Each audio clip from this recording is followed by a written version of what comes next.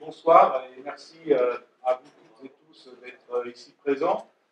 Euh, on démarre en fait ce soir un, cycle de conférences-débats sur le thème de, l'effondrement qui, qui se déroulera sur quatre séances, parce qu'un thème aussi compliqué que celui de l'effondrement ne pouvait pas être évidemment interprété à travailler de manière assez correcte euh, sur une seule séance. Euh, on a donc prévu euh, une conférence débat chaque mois.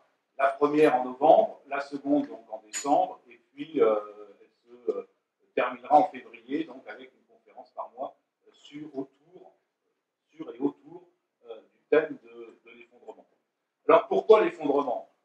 En réalité, je pense que chacune et chacun d'entre vous euh, dans euh, l'actualité et dans euh, la lecture des, grands médias, c'est que finalement, l'expression et le thème, le mot, le mot même d'effondrement est de plus en plus utilisé par les grands médias, par les journalistes qui travaillent dans les grands médias. Et ça, c'est quand même quelque chose de relativement nouveau dans la sphère médiatique que de voir que ce thème assez anxiogène finalement euh, au départ de l'effondrement euh, puisse être euh, aussi largement employé dans l'analyse des, grands médias sur la situation actuelle. il nous paraissait important, en tant qu'écologiste, finalement, de reprendre le thème, parce qu'autour de cette notion d'effondrement, il y a évidemment tout un tas de questions qui se posent. les approches peuvent être différentes les unes des autres, on n'est pas le même sens, on met pas toujours le même sens derrière le mot d'effondrement, et euh, il me semblait utile de pouvoir euh, euh, évoquer l'ensemble des, enjeux que le mot draine avec lui. Des enjeux évidemment environnementaux, des enjeux sociétaux, des enjeux sociaux, etc., des enjeux politiques, des enjeux scientifiques. Et aujourd'hui, la séquence que on vous propose est plutôt tournée vers l'approche euh, de euh, la science dure, même si euh, certains ici n'aiment pas l'expression de, science dure, mais bon, pour définir un petit peu ce que c'est que la climatologie, la biologie, la démographie, voilà, le mot de l'expression de science dure convient relativement bien. Et puis ensuite, on continuera la séquence du mois de, décembre sur une approche plutôt science humaine, à travers euh, euh, l'intervention de, philosophes, d'historiens euh, et de sociologues sur le même sujet. Enfin, on terminera les deux séquences suivantes du mois de janvier et du mois de février sur les politiques de l'effondrement, parce qu'il ne suffit pas, pour nous en tout cas écologistes politiques, de simplement évoquer un diagnostic à l'heure T, mais aussi d'essayer de décliner des outils euh, qui nous permettrait effectivement de faire face à la situation dans laquelle euh, nous nous trouvons. Donc voilà en gros le, schéma général, si vous voulez, de, ces cycles. Et donc moi je vous invite euh, dès l'amont à venir suivre un petit peu l'ensemble des, soirées qui auront lieu sur le thème, parce qu'il y a une, cohérence. En tout cas, on a essayé de bâtir ce programme pour le rendre le plus cohérent possible par rapport à, la thématique. Je ne veux pas, pas souhaité que nous ayons toutes et tous la même approche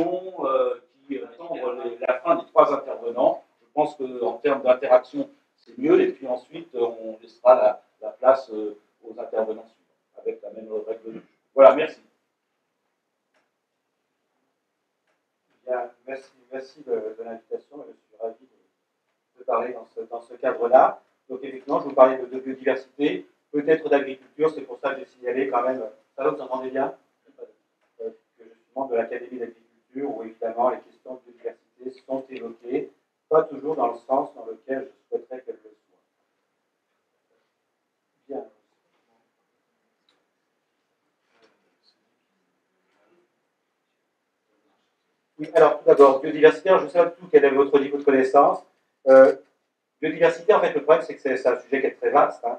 Donc, c'est bien connu sous la, langue des espèces menacées, le panda en gauche, mais évidemment, la biodiversité, vous n'avez pas que les espèces menacées. Donc là, vous avez des communautés qui sont menacées. Donc là, on n'est pas sur le même niveau d'organisation. Vous avez une communauté de pollinisateurs en bas, à gauche. Et puis en haut à droite, vous avez un lombric. Donc, pour signaler quand même que la biodiversité est quand même une composante majeure et tout à fait essentielle des écosystèmes et, indispensables aux humains, notamment à l'agriculture. Et puis dans cette biodiversité, vous avez des aspects justement très dynamiques. Donc là, vous avez une déforestation. Et puis en dessous, vous avez la variabilité génétique du maïs. Hein. donc rappelez aussi qu'en agriculture, la diversité génétique et spécifique est évidemment fondamentale. Voilà. Donc sur cette biodiversité aussi, une autre manière de présenter les, les enjeux. Donc là, vous avez trois paysages pour dire qu'effectivement, la manière sociale dont ça hein, selon qu'on est en Camargue, qu'on est dans la Beauce, ou bien que l'on est à Paris, effectivement, les enjeux de biodiversité ne sont pas du tout les mêmes, mais ils sont importants dans les différents types d'écosystèmes. Typiquement, dans la Camargue, on est plutôt effectivement sur la préservation d'espèces menacées, de, biodiversité patrimoniale.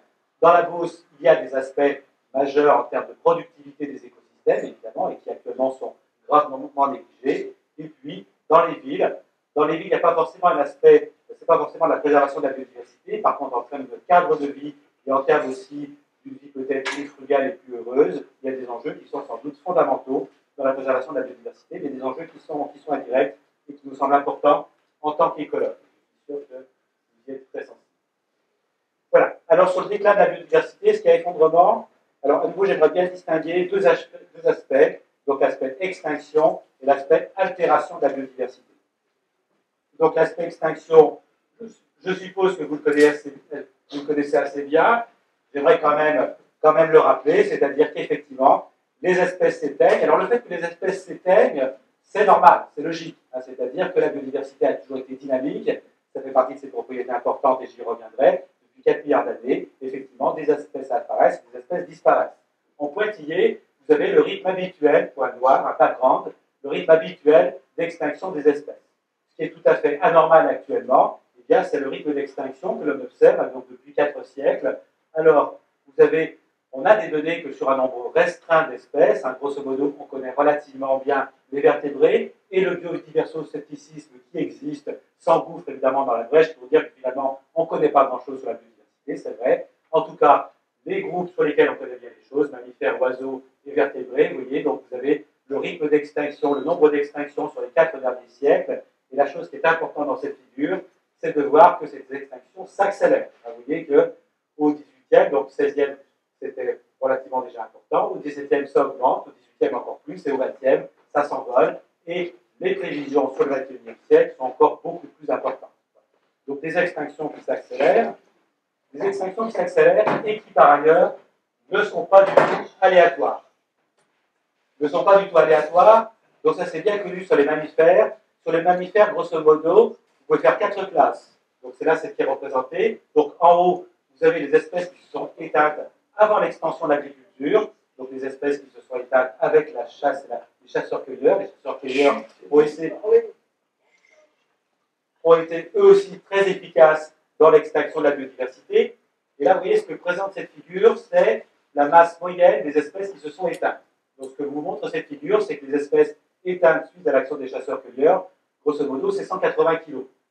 Après, vous avez les espèces qui se sont éteintes en orange suite à l'agriculture, notamment le loup de Tasmanie. Et là, masse moyenne, grosso modo, c'est 700 grammes. Ensuite, vous avez les espèces qui actuellement sont menacées en jaune. Donc là, la masse moyenne, c'est 440 grammes. Et enfin, en bas, en vert, vous avez les mammifères qui ne sont pas menacés actuellement. Et là, la masse moyenne est 60 grammes. Donc, une chose qui est très importante qui sort de, cette, de ces données, c'est que ces extinctions ne se font pas du tout au hasard. C'est-à-dire que, grosso modo, on a perdu d'abord les très grosses espèces, et petit à petit, en fait, ce sont les petites espèces qui actuellement sont relativement peu menacées, en tout cas sur les mammifères, et on retrouve cette tendance très, nettement sur les vertébrés. En termes de fonctionnement des écosystèmes, en termes de fonction écologique, évidemment, c'est très significatif parce que les fonctions écologiques exercées par les grosses espèces, par une espèce de 180 kg, ne sont pas du tout les mêmes fonctions que les espèces exercées par des espèces qui ont des masses de 60 grammes. Donc là, on a perdu des fonctions écologiques très importantes, sachant que les effets de ces pertes de fonctions écologiques, elles sont loin encore d'être complètement réalisées. Notamment, vous avez les espèces qui dispersent les graines, les graines notamment des arbres, et lorsque les graines des arbres ne sont, pas, ne sont plus disséminées, les conséquences sur le devenir de ces arbres, ça peut mettre assez longtemps à se produire, mais néanmoins, ça se produira. Et ça, en Amazonie, ça commence à être relativement bien documenté, notamment à l'extinction des chauves-souris. On a une perte des fonctions, notamment dissémination d'un certain nombre d'espèces. Donc, sur les extinctions, j'en resterai grosso modo à, ceci. Je passerai ensuite à l'altération de la biodiversité altération de la biodiversité, donc grosso modo ce que l'on appelle la biodiversité ordinaire, celle qui nous ambitionne à la recherche n'a pas les moyens à allouer à au suivi de la biodiversité. Ce n'est pas un sujet qui est considéré comme important au ministère de la Recherche et par les institutions scientifiques. Donc là, évidemment, on fait des sciences participatives. Donc là, vous avez les résumés des données obtenues par les sciences participatives depuis 1989. Et qu'est-ce que vous disent ces données de sciences participatives? Eh bien, alors faites attention, Là, ce sont euh, l'indicateur, en fait, ce sont de nombres d'oiseaux.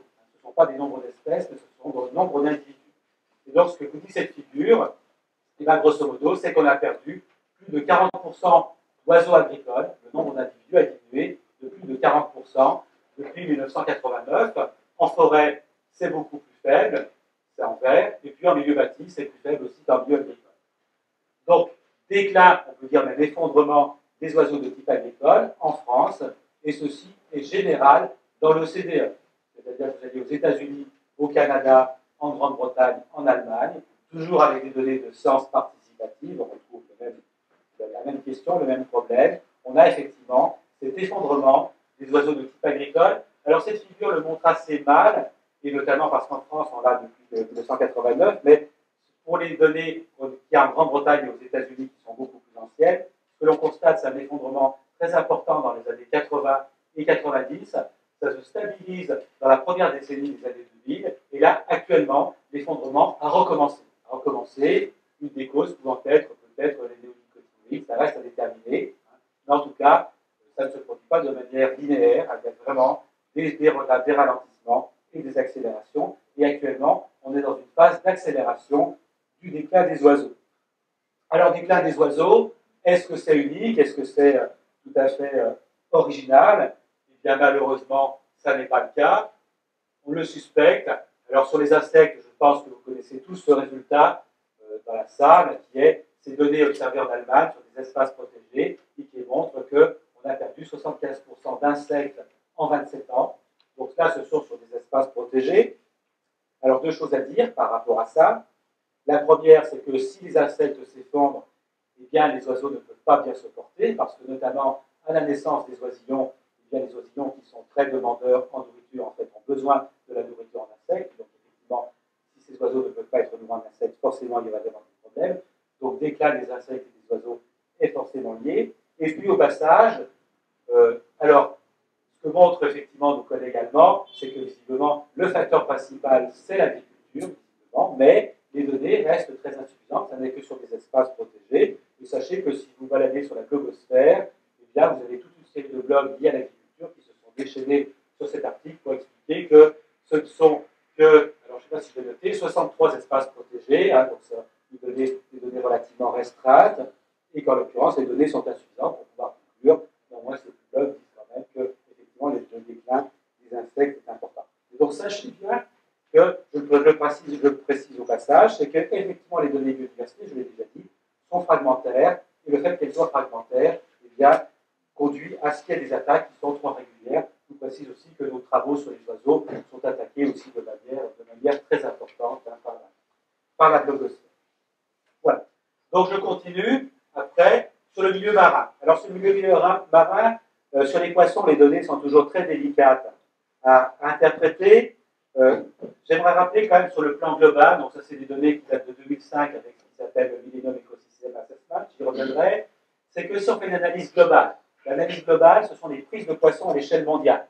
Donc là, vous avez le graphe à l'échelle à gauche. Ce que l'on observe, qui est très clair, c'est qu'on a une augmentation des prises très importante dans les années 70-80, et puis, depuis le milieu des années 80, eh bien, la prise en poissons, le nombre de poissons qui sont capturés chaque année, stagne, stagne depuis 1985. Alors on pourrait se dire, bon, eh bien, on est sans doute dans un état d'équilibre, mais ça n'est pas du tout le cas. C'est-à-dire, lorsque vous faites la statistique sur le nombre de bateaux puissance des bateaux à l'échelle mondiale, cette puissance et le nombre de bateaux a augmenté considérablement depuis les années 80. Donc, puissance de pêche, capture augmente considérablement, le nombre de poissons pêchés n'augmente pas. Évidemment, la tendance est extrêmement inquiétante.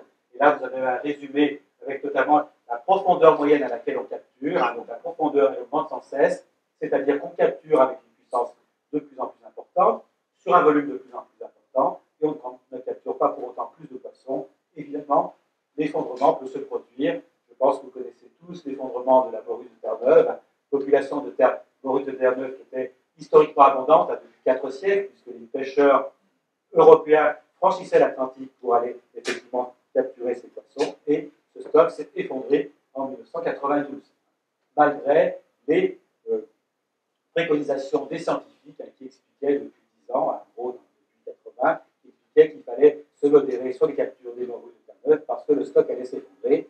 Ils n'ont pas été écoutés parce qu'évidemment, il y avait des contraintes socio-économiques qui étaient très importantes.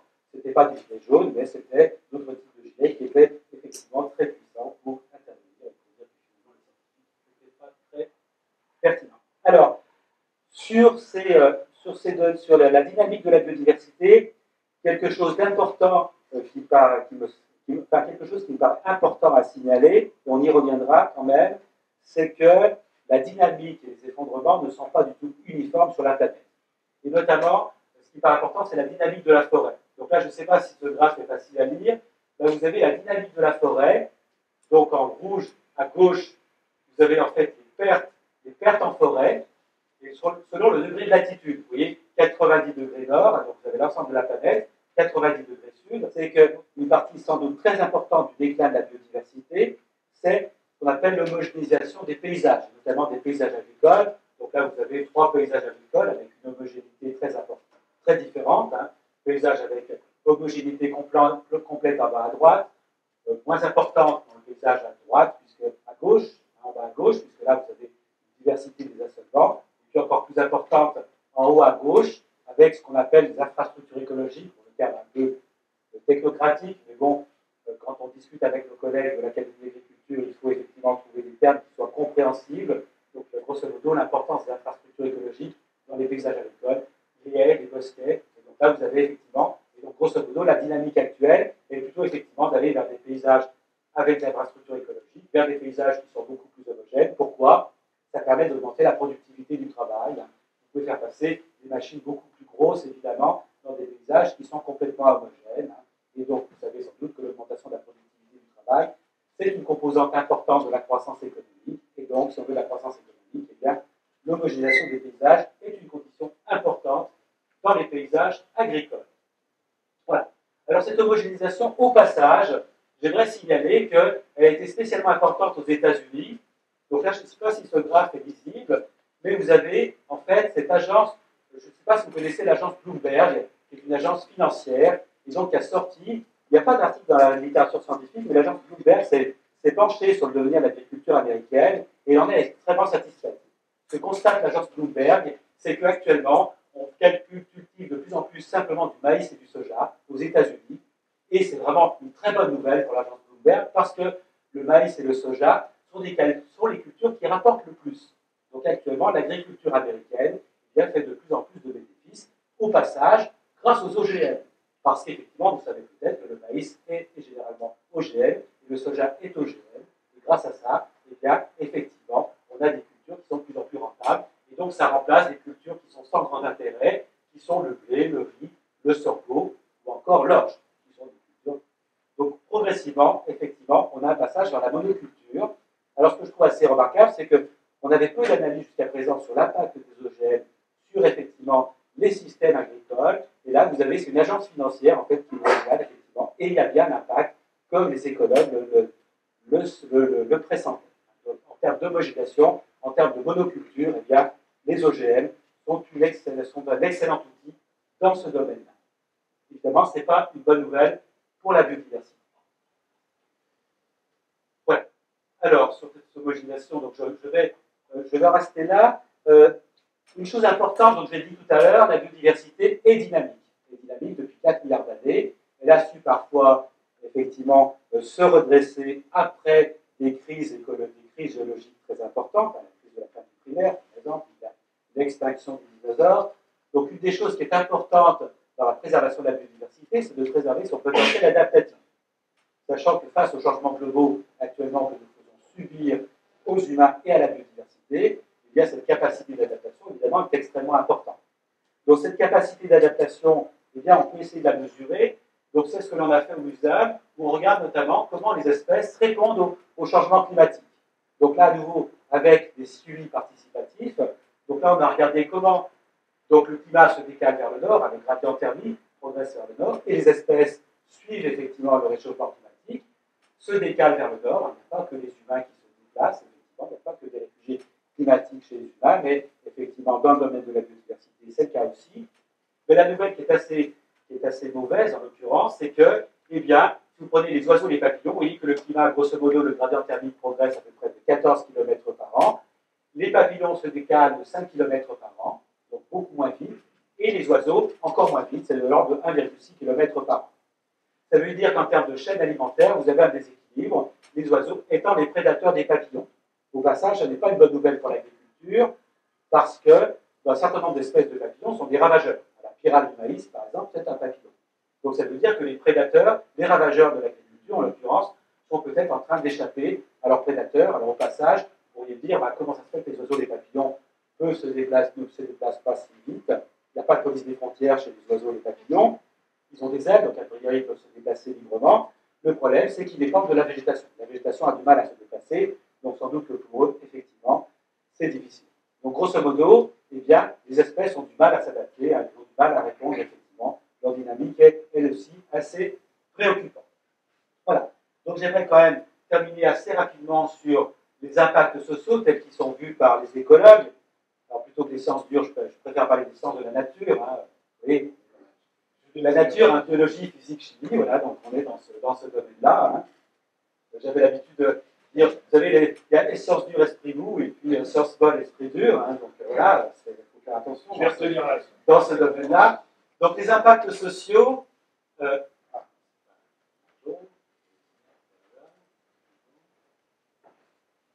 alors, une manière qu'on a de faire pour analyser ces impacts sociaux, c'est d'utiliser la notion de service écosystémique, qui a été critiquée. Alors, effectivement, elle peut être critiquable. C'est comme tous les outils, c'est comme le scalpel, hein, s'il est mal utilisé, ça peut être un outil dangereux, mais ça peut être un outil aussi extrêmement intéressant. Donc, service écosystémique, de quoi s'agit-il? Eh bien, fait que la biodiversité eh bien, rend un certain nombre de services totalement indispensables et importants aux humains. Et ce qui est important dans ces services écosystémiques, eh bien, c'est de ne pas mélanger les catégories. Grosso modo, il y a trois, il y a trois catégories de services écosystémiques. Il y a ce qu'on appelle les services d'approvisionnement, c'est grosso modo la, qu'on appelle les services de régulation. régulation du climat avec le stockage du carbone, services de purification de l'eau et de l'air, contrôle biologique, la pollinisation, la prévention des maladies, tout ça, ce sont des services de régulation. Et ça, c'est le cœur du fonctionnement des écosystèmes. C'est-à-dire que l'agriculture ne peut fonctionner bien que si jamais ces services de régulation sont importants. Et ce que constate le Millennium Ecosystem Assessment, en fait, en 2005, c'est que, eh bien, finalement, ceux qui sont appropriés de manière privée par les humains, grosso modo les services d'approvisionnement, et puis un certain nombre de services culturels, qui se portent plutôt pas mal. L'agriculture, en termes de performance, va de mieux en mieux. Hein, le nombre de calories produites par humain continue à progresser. Par contre, eh bien, l'ensemble des services de régulation sont en déclin. Et ça, c'est extrêmement inquiétant parce que ça veut dire que, grosso modo, les fondations, les fondations du, du fonctionnement des écosystèmes, les services de régulation, sont en train de décliner. Et évidemment, les services d'approvisionnement ne pourront pas s'améliorer indéfiniment si jamais les services d'approvisionnement dont ils dépendent sont en déclin. Donc cette analyse service écosystémique aussi, elle est extrêmement importante. Et en termes d'effondrement social, évidemment, ça c'est une nouvelle qui est, qui est inquiétante parce qu'évidemment, si services d'approvisionnement de régulation s'effondrent, hein, en termes de stockage du carbone, en termes de colonisation, de purification de l'air, on voit évidemment toutes les conséquences sociales très négatives que ça peut avoir sur les humains. Alors, ce qui concerne l'effondrement, effectivement, euh, c'est un sujet quand même qui, en tant qu'écologue, on, se préoccupe aussi. Hein. donc, j'aimerais quand même ajouter quelques mots, effectivement, sur cette notion d'effondrement. Je vais, pas la traiter, je vais la traiter simplement du point de vue de l'écologie scientifique. Alors, l'effondrement, savoir que quand même, sur le plan historique, c'est une banalité, hein, le fait que les sociétés se soient effondrées. On a des exemples dans l'ensemble des continents, hein, que ce soit l'Amérique, l'Europe, la Mésopotamie, la Chine, l'Empire Khmer, l'Anatolie, etc. Des exemples abondent dans l'histoire, donc ça ne serait pas nouveau hein, qu'une société humaine s'effondre. Les causes, alors les causes, j'aimerais quand même dire quelques mots là-dessus. Sur les causes, là, je crois qu'effectivement, en tant que, humain, euh, pardon, en tant que scientifique, je dirais qu'on est vraiment handicapé. On est vraiment handicapé, pourquoi? Ben, Parce qu'en fait, l'effondrement des, des, sociétés humaines, l'effondrement, il y a toujours des causes sociales et biophysiques. Mais les causes sociales, alors les causes liées aux sciences, aux sciences bonnes et les causes liées aux sciences dures ne sont jamais suffisantes. Certaines causes ne sont jamais purement sociales, ne sont jamais purement biophysiques. Donc le problème, c'est que si jamais on travaille que dans le domaine des sciences de la ou que dans le domaine des sciences sociales, eh on est aveugle parce qu'on passe à côté d'une partie des causes. un exemple, hein, par exemple, c'est la Syrie. La Syrie est un exemple, sans doute, de mon point de vue, est un exemple d'effondrement. D'effondrement où, clairement, on a des causes sociales et biophysiques qui sont imbriquées. Je ne sais pas si tout le monde sait dans la salle que la Syrie, en 2011, vient de subir une sécheresse historique et que vous avez 500 000 agriculteurs qui ont été chassés de l'agriculture et qui se retrouvent dans les ghettos, des villes en 2011. Alors, si on était dans une société qui était solide sur le plan social et politique, sans doute que la société ne peut pas effondrer, mais dans une société qui, effectivement, se bat très mal sur le plan social et politique, eh bien, effectivement, cette, cette, cause biophysique, eh s'ajoute aux causes sociopolitiques, et là, effectivement, on peut penser que l'effondrement résulte bien de cette imbrication. Voilà. Alors, sur, sur ces effondrements, j'aimerais signaler que vous avez ce qui s'appelle le Stockholm Resilience Center, qui travaille justement sur ces imbrications sociales et biophysiques, et sachez que sur le plan scientifique, quand même, c'est un peu une banalité qu'effectivement, il y a des effondrements qui sont à venir. Ce qui s'est passé en Syrie, peut-être que la Somalie, c'est aussi un exemple aussi d'effondrement. Donc les effondrements, ils existent déjà. Et donc j'aimerais quand même revenir sur cette histoire d'effondrement, c'est que, par contre, alors je ne sais pas comment le dire, c'est que ne sous-estimez pas quand même l'agilité et la résilience de l'économie globale.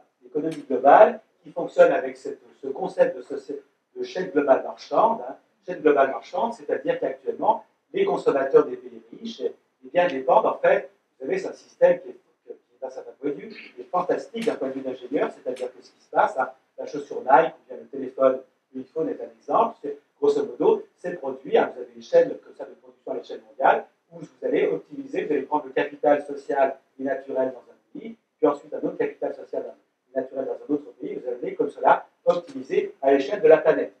À l'échelle de la planète, et la conséquence, qu'est-ce qu'elle est? Eh bien, c'est que si jamais vous avez une société qui s'effondre, eh bien, ces chaînes globales marchandes, en fait, sont relativement résilientes, parce qu'il suffit de, à ce moment-là, réorienter la chaîne globale marchande vers un autre pays. Le Bangladesh s'effondre, eh bien, ce que vous allez faire, c'est que vous allez réorienter vers un autre, un autre pays. Et de ce point de vue-là, on pourrait penser, on peut penser, hein, c'est une hypothèse, que les pays du Nord reste relativement indemne par rapport à des effondrements locaux dans les pays du Sud qui actuellement sont beaucoup plus exposés que les pays du Nord. Donc ça, c'est quelque chose qui paraît quand même important. Je pense que c'est un concept, un mécanisme, les chaînes globales marchandes, qui sont importantes à considérer lorsque l'on réfléchit à ces problèmes de chaîne globale marchande. Et j'aimerais terminer sur quelque chose d'un peu subtil. Donc ça, c'est un écologue chinois. Je ne sais pas s'il était sérieux en le disant, mais grosso modo, ce qu'il expliquait, c'est que, donc là, vous avez des exemples, vous savez sans doute que la dégradation écosystèmes en Chine est extrêmement importante. En haut à gauche, vous avez l'eutrophisation, donc vous avez vous voyez, des baigneurs qui sont face en fait, à une, plage qui est complètement eutrophisée. Là, vous avez une ville, chinoise, et puis là, vous avez le désert près de Pékin. Et ce que dit cet écologue chinois, c'est que Maintenant, c'est trop tard. De toute façon, la restauration des écosystèmes en Chine serait trop coûteuse. Donc, la meilleure solution, eh c'est de s'habituer à vivre dans ce type d'écosystème. Finalement, vous voyez, vous voyez dans la masse, peut-être finalement euh, un, costume de plongée, vous voyez, et puis bon, il y a peut-être des possibilités. Voilà. Et peut-être que quelque part, eh bien, si en Europe, effectivement, on ne sait rien, peut-être que ça va pas s'effondrer, mais que finalement, grosso modo, petit à petit, eh bien, on va s'habituer à vivre dans de tels, écosystèmes. Voilà. Alors j'aimerais signaler, deux choses quand même, c'est que par rapport à ça, les écologues ne sont pas les écologues scientifiques, elles ne sont pas inactifs. Il y a ce projet euh, Earth Project, qui est grosso modo de dire eh ben, moitié de la planète pour l'humanité et moitié de la planète pour la biodiversité, sachant qu'il y a différentes manières de concevoir. Bon, je n'ai pas le temps, mais je pense que ça, derrière ça, il y a des visions politiques qui être très diverses. Mais qui sont donc les analyses quantitatives qui sont faites qui sont possibles, avec notamment des scénarios qui sont agroécologiques hein, et qui sont assez crédibles sur le plan, matériel. Et puis j'aimerais terminer quand même sur une image, sur, disons, humoristique, qui est que, vous savez peut-être, Steven Pinker, qui est professeur à Harvard, c'est un scientifique sérieux, hein, il travaille notamment sur la théorie computationnelle de l'esprit, vient de sortir cet ouvrage qui s'intitule Le triomphe des lumières, pourquoi il faut défendre la raison la science, la science et l'humanisme, en nous expliquant que vraiment, il y a toutes les raisons d'être optimiste, on ne s'est jamais aussi bien porté, on n'a jamais été aussi riche.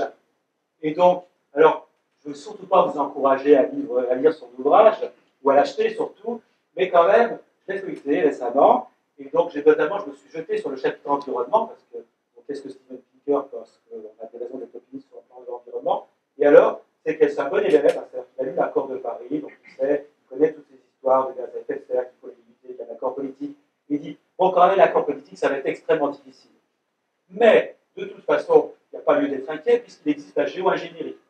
Et donc, il nous fait, comme cela, une demi-page, un professeur d'Harvard, vous voyez, une demi-page sur la géo-ingénierie, donc on va injecter du soufre dans l'air, vous voyez, les tiroirs, etc.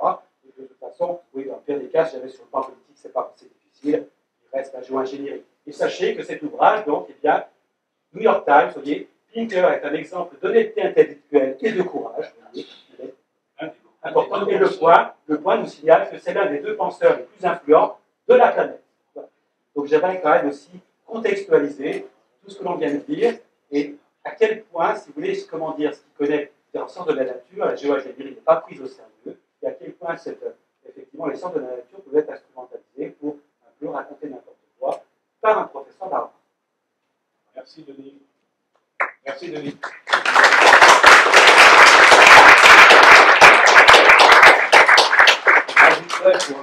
pour, pour, sur le délire des, scientifiques, parfois, c'est euh, rappeler que le prix Nobel d'économie euh, de cette année, Nordhaus, c'était quelqu'un qui a démontré, démontré scientifiquement à travers des modèles économiques que l'optimisation économique se réalisait à une augmentation de 3,5 degrés euh, du euh, réchauffement euh, planétaire.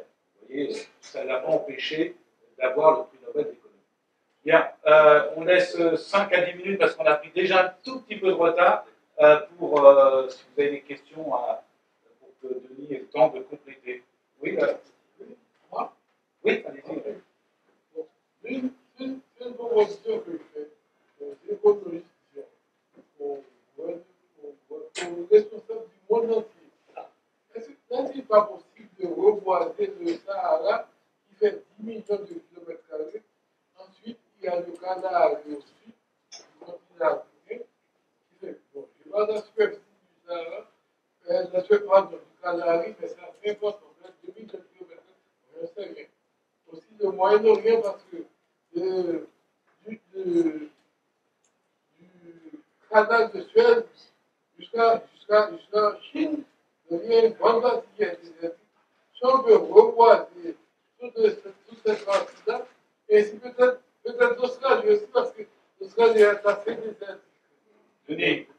je vois la superficie du Sahara, la superficie du canal, mais ça fait 50 2000 kilomètres, je ne sais rien. le Moyen-Orient parce que du, du, canal de Suède jusqu'à jusqu'à jusqu'à Chine, il y a une grande partie qui est désertique. Si on veut reboiser toute, toute cette partie-là, et si peut-être peut-être l'Australie aussi, parce que l'Australie est assez désertique. Denis, est-ce qu'on peut reboiser le Sahara Euh, le, Sahara, le Sahara. En ce qui concerne le Sahel, il y a des projets extrêmement importants et ambitieux depuis 30 à 40 ans, qui, à ma connaissance, fonctionnent relativement bien. Un reboisement avec des effets positifs sur l'agriculture, notamment au, Niger. Après le Sahara, je parle sous contrôle de Marie-Antoinette, mais euh, le Sahara, notamment, est devenu désertique parce que euh, les- les, le système climatique global de la planète planétaire a changé. Donc là, de ce point de vue-là, ça sera difficile. Voilà. Une deuxième question. Mais limiter la désertification, bien sûr. Oui, il faudrait éviter d'évoquer euh, un prix Nobel d'économie. Il n'y a jamais de prix Nobel d'économie. Oui, oui, C'est toujours le, le prix de la Banque de, de Suède. Et, euh, et l'économie n'étant pas une science, c'est normal qu'il n'y ait pas de Nobel euh, en, en- en économie.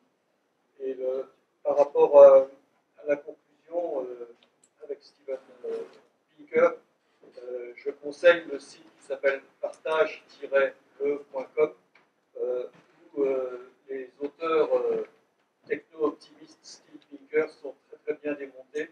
Et dans ce démontage, on précise que tous les livres de Pinker sont toujours préfacés par Bill Gates, qui trouve que c'est formidable euh, les idées de, Pinker, euh, euh, on peut facilement démontrer que c'est parfaitement idiot. Oui, euh, quelle est la cause euh, du, de la désertification du Sahara? On m'a dit que c'était dû à une glaciation et pas à une, à une, canicule, enfin, à une sécheresse. Une dernière question peut-être? Faut pas, il y a le Sahara et le Sahel, c'est-à-dire que le Sahara, effectivement, je pense que c'est un changement dans le, le courant des vents, le plus du sol. Il y a cet aspect-là qui fait qu'effectivement, l'hygrométrie, il n'y a plus de précipitations. Mais par ailleurs, le Sahel, le Sahel, une partie de la désertification est due à la surexploitation du milieu. Donc, c'est pour ça que là, effectivement, on peut faire des choses et qu'il y a ces programmes de restauration, là, ce qui s'appelle la ceinture verte, qui fonctionne relativement bien. Voilà. Sahara et Sahel, on peut bien distinguer les deux. Dernière question. là. Oui. Quel est le coût de la destruction de la nature. Le, coût économique. Et tu as entendu que la croissance économique mondiale est de 3,7%. Est-ce que le coût non calculé est supérieur ou inférieur à 3,7% Autrement dit, est-ce qu'on s'appauvrit ou est-ce qu'on s'enrichit? Alors, je ne suis pas sûr qu'on puisse répondre de cette, manière-là à à la question. Euh, Il y, a- un certain nombre de, calculs qui sont faits justement sur finalement ce que rapporte entre guillemets la destruction de la nature par rapport à ce qu'elle coûte. Et à ma connaissance, la, littérature économique est assez claire là-dessus, c'est-à-dire que ça coûte plus que ça ne rapporte. D'accord? Voilà. Le problème, le problème, c'est que là, c'est des estimations qui sont faites euh, sans, euh, sans externalisation. Alors, ça, c'est un, un concept qui est très important en économie. C'est-à-dire que le problème, c'est que quand on fait allusion à la croissance économique, c'est une croissance économique qui tient compte, grosso modo, que de l'économie marchande. C'est-à-dire qu'il y a énormément de choses qui sont externalisées. Il y a plein de- d'effets sociaux et environnementaux de l'économie qui ne sont pas, pris en compte. Donc, quand les économistes considèrent que le coût de la, destruction est plus important que ses bénéfices, c'est en intégrant tout ce qui n'est pas est économie non marchande. Vous donc les- on n'est pas sur les mêmes plans. Donc il est possible que si jamais on préservait la nature plus, on aurait peut-être moins de croissance économique telle qu'elle est calculée actuellement, mais ça ne veut pas dire pour autant que le bien-être humain, le bien-être humain serait peut-être lui plus important. Vous voyez la croissance économique peut se faire au dépens du bien-être humain. La comptabilité nationale, donc internationale, est, donc mal faite. Mais il y a, et oui, il y a plein de, il y a plein de projets pour effectivement revoir la manière dont la comptabilité nationale est faite, de manière à justement prendre en compte tous ces effets sociaux et environnementaux, notamment négatifs de la croissance économique marchande. Bien, je vous propose qu'on passe à la deuxième séquence. On aura un dernier temps hein, de, questions à la fin, mais là, on va continuer les, présentations. Donc, euh, La, deuxième présentation, donc, c'est euh, euh, autour, de, autour du climat avec Marie Antoinette. Alors, il faudrait sortir le. Ah, bah, voilà.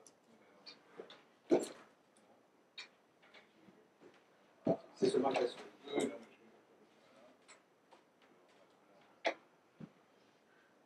Voilà. Vous m'entendez là? Qu'est-ce que tu veux Vous m'entendez bien? On voilà. va On commencer commence sur quoi? par un film, deux petits films. Alors, Le premier, c'est. euh, non. Non. 10 températures. Allons-y. Voilà, ça va être l'évolution. Attends, attends, on va mettre en marche que je fais rien, c'est bon. Sur ainsi jusqu'à 2017, 1880-2017, c'est la reconstitution de l'évolution de la température moyenne annuelle en différents points du globe. Donc, euh, ce qui est jaune, c'est un peu plus chaud, vous voyez. Euh, jusqu'au rouge, c'est plus chaud de 2 degrés. Ce qui est plus froid, c'est en bleu. Jusqu'au bleu plus foncé, c'est 2 degrés.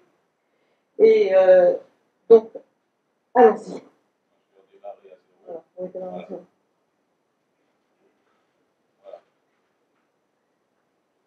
Donc là, on est en pratiquement 1900. Vous voyez que les taches jaunes et bleues s'équilibrent à peu près sur les fluctuations.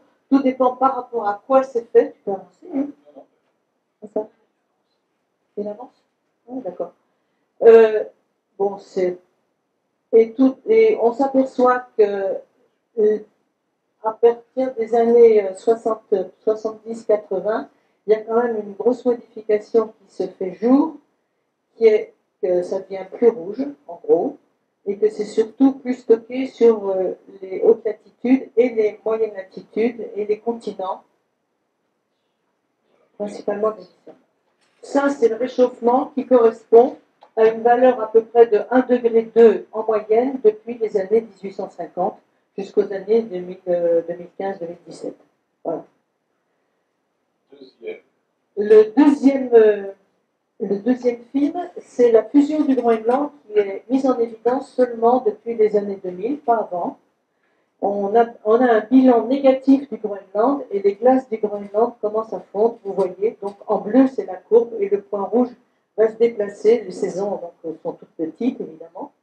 Et grosso modo, le déficit, euh, enfin, le bilan de masse, ça s'appelle, est négatif. Donc, il augmente régulièrement. Vous voyez que les taches rouges qui mesurent la quantité de gaz qui part annuel, pratiquement, il faut voir euh, à quel Et ça correspond donc à une accélération. Et 2013, 2018, 2017, vous voyez que clairement le- la quantité de fusion du Groenland est plus forte. Je reviendrai après sur cette notion-là. Pour ça, je préférais vous la faire sentir auparavant. Si vous, voulez si vous voulez angoisser encore un peu, je peux vous repasser une fois. Donc euh, le problème, c'est que c'est l'ensemble, et on a la même chose sur l'Antarctique, mais en plus faible, euh, mais qui commence déjà à être négatif. Le, débit- le- le bilan de masse de l'Antarctique commence à être négatif à partir des années 2000 également. On a eu beaucoup, beaucoup de mal à se demander ce qui se passait en 1980-2000, mais maintenant c'est clair, c'est net, la somme est négative. Donc l'Antarctique commence aussi à faire. Bon, eh bien, mais j'ai l'impression qu'on m'entend pas là. Très bien. Non, je vois pas du tout ce que je dis. Non, mais là, tu ne verras pas. Ah, mais si, tu.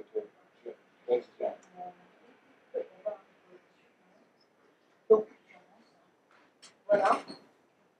J'ai mis effondrement entre guillemets parce que tout dépend ce qu'on appelle effondrement, mais quand même, on, on est à peu près tous d'accord sur une grosse, grosse modification de l'environnement.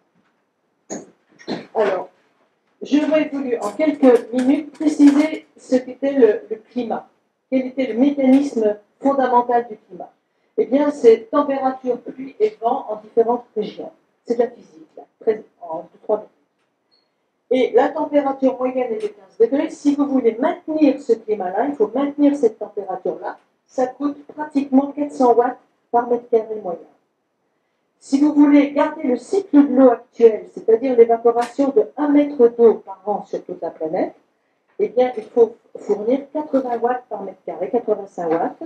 Et si vous voulez faire monter les vents à partir du sol vers l'atmosphère et enclencher des mouvements de vent dans l'atmosphère, c'est à peu près 20 watts. Si bien qu'il vous faut 500 watts en continu par mètre carré pour faire marcher le climat. Petit détail, euh, le, eh bien, c'est pas mis, c'est pas grave.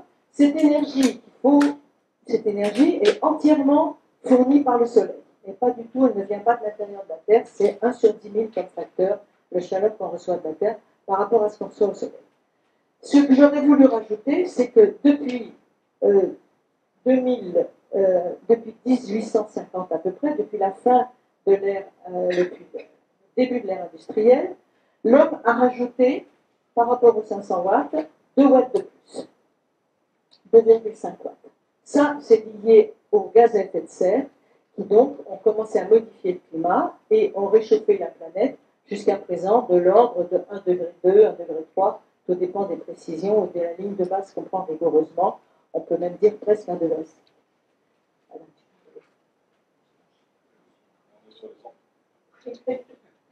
D'accord. Donc, voilà, c'est ça que je voulais vous dire. En un siècle, 2,5 watts par mètre carré, 500 watts euh, doivent être fournis pour maintenir le climat actuel. Évidemment, si vous chauffez plus le climat, si vous avez plus d'énergie, vous allez chauffer plus la, planète, la température moyenne, et augmenter le cycle de l'eau, puisque vous aurez plus d'énergie également pour évaporer l'eau. Alors, la principale cause. Euh, oui, voilà. Ça, c'est très. Avant, juste avant. Oui. Voilà. Alors, ça, pourquoi est-ce qu'on a ça? Eh bien, c'est principalement, d'une part, lié au soleil, au soleil. Vous avez la flèche jaune qui explique, qui donne la quantité du soleil qui arrive sur la surface, et lié au rayonnement infrarouge de l'atmosphère, qui est quasiment double de ce que le soleil donne au niveau de la surface. Et c'est assez complexe, point de vue bilan énergétique, mais cette énorme quantité de rayonnement non visible qu'est l'infrarouge de l'atmosphère, c'est principalement l'effet de serre. C'est pour ça que c'est si important de parler d'effet de serre et que la modification de, l'équilibre par l'homme est capitale en émettant des gaz à effet de serre. Vous l'avez sous les yeux là. Alors maintenant, avec ça, avec tout ce qu'on a dit là, on va pouvoir évaluer les causes de tous les, tous les, je suis les causes de tous les changements climatiques qu'on peut envisager. Le but, c'est de préciser notre 1 degré ou 2, 3 ou 4 qu'on peut obtenir, comment il se situe dans l'évolution mondiale depuis des millions, des milliers, des centaines de millions, des 60 millions d'années en Donc, allons-y. Comme c'est le Soleil qui donne toute l'énergie, eh bien, une première cause de fluctuation du climat, c'est l'activité solaire. L'exemple, c'est le petit âge de glace qui s'est produit sous Louis XIV, et ça, les fluctuations, aussi longtemps qu'on puisse remonter, elles sont à peu près du même ordre, elles peuvent s'étendre sur plusieurs décennies, garder plusieurs siècles, ça donne des époques chaudes du Moyen Âge, des époques chaudes des Romains, et puis les époques froides glaciaires euh, du XIIIe au XVIIIe siècle. Et ça, représente, ça ne représente pas plus qu'un demi-degré mondial.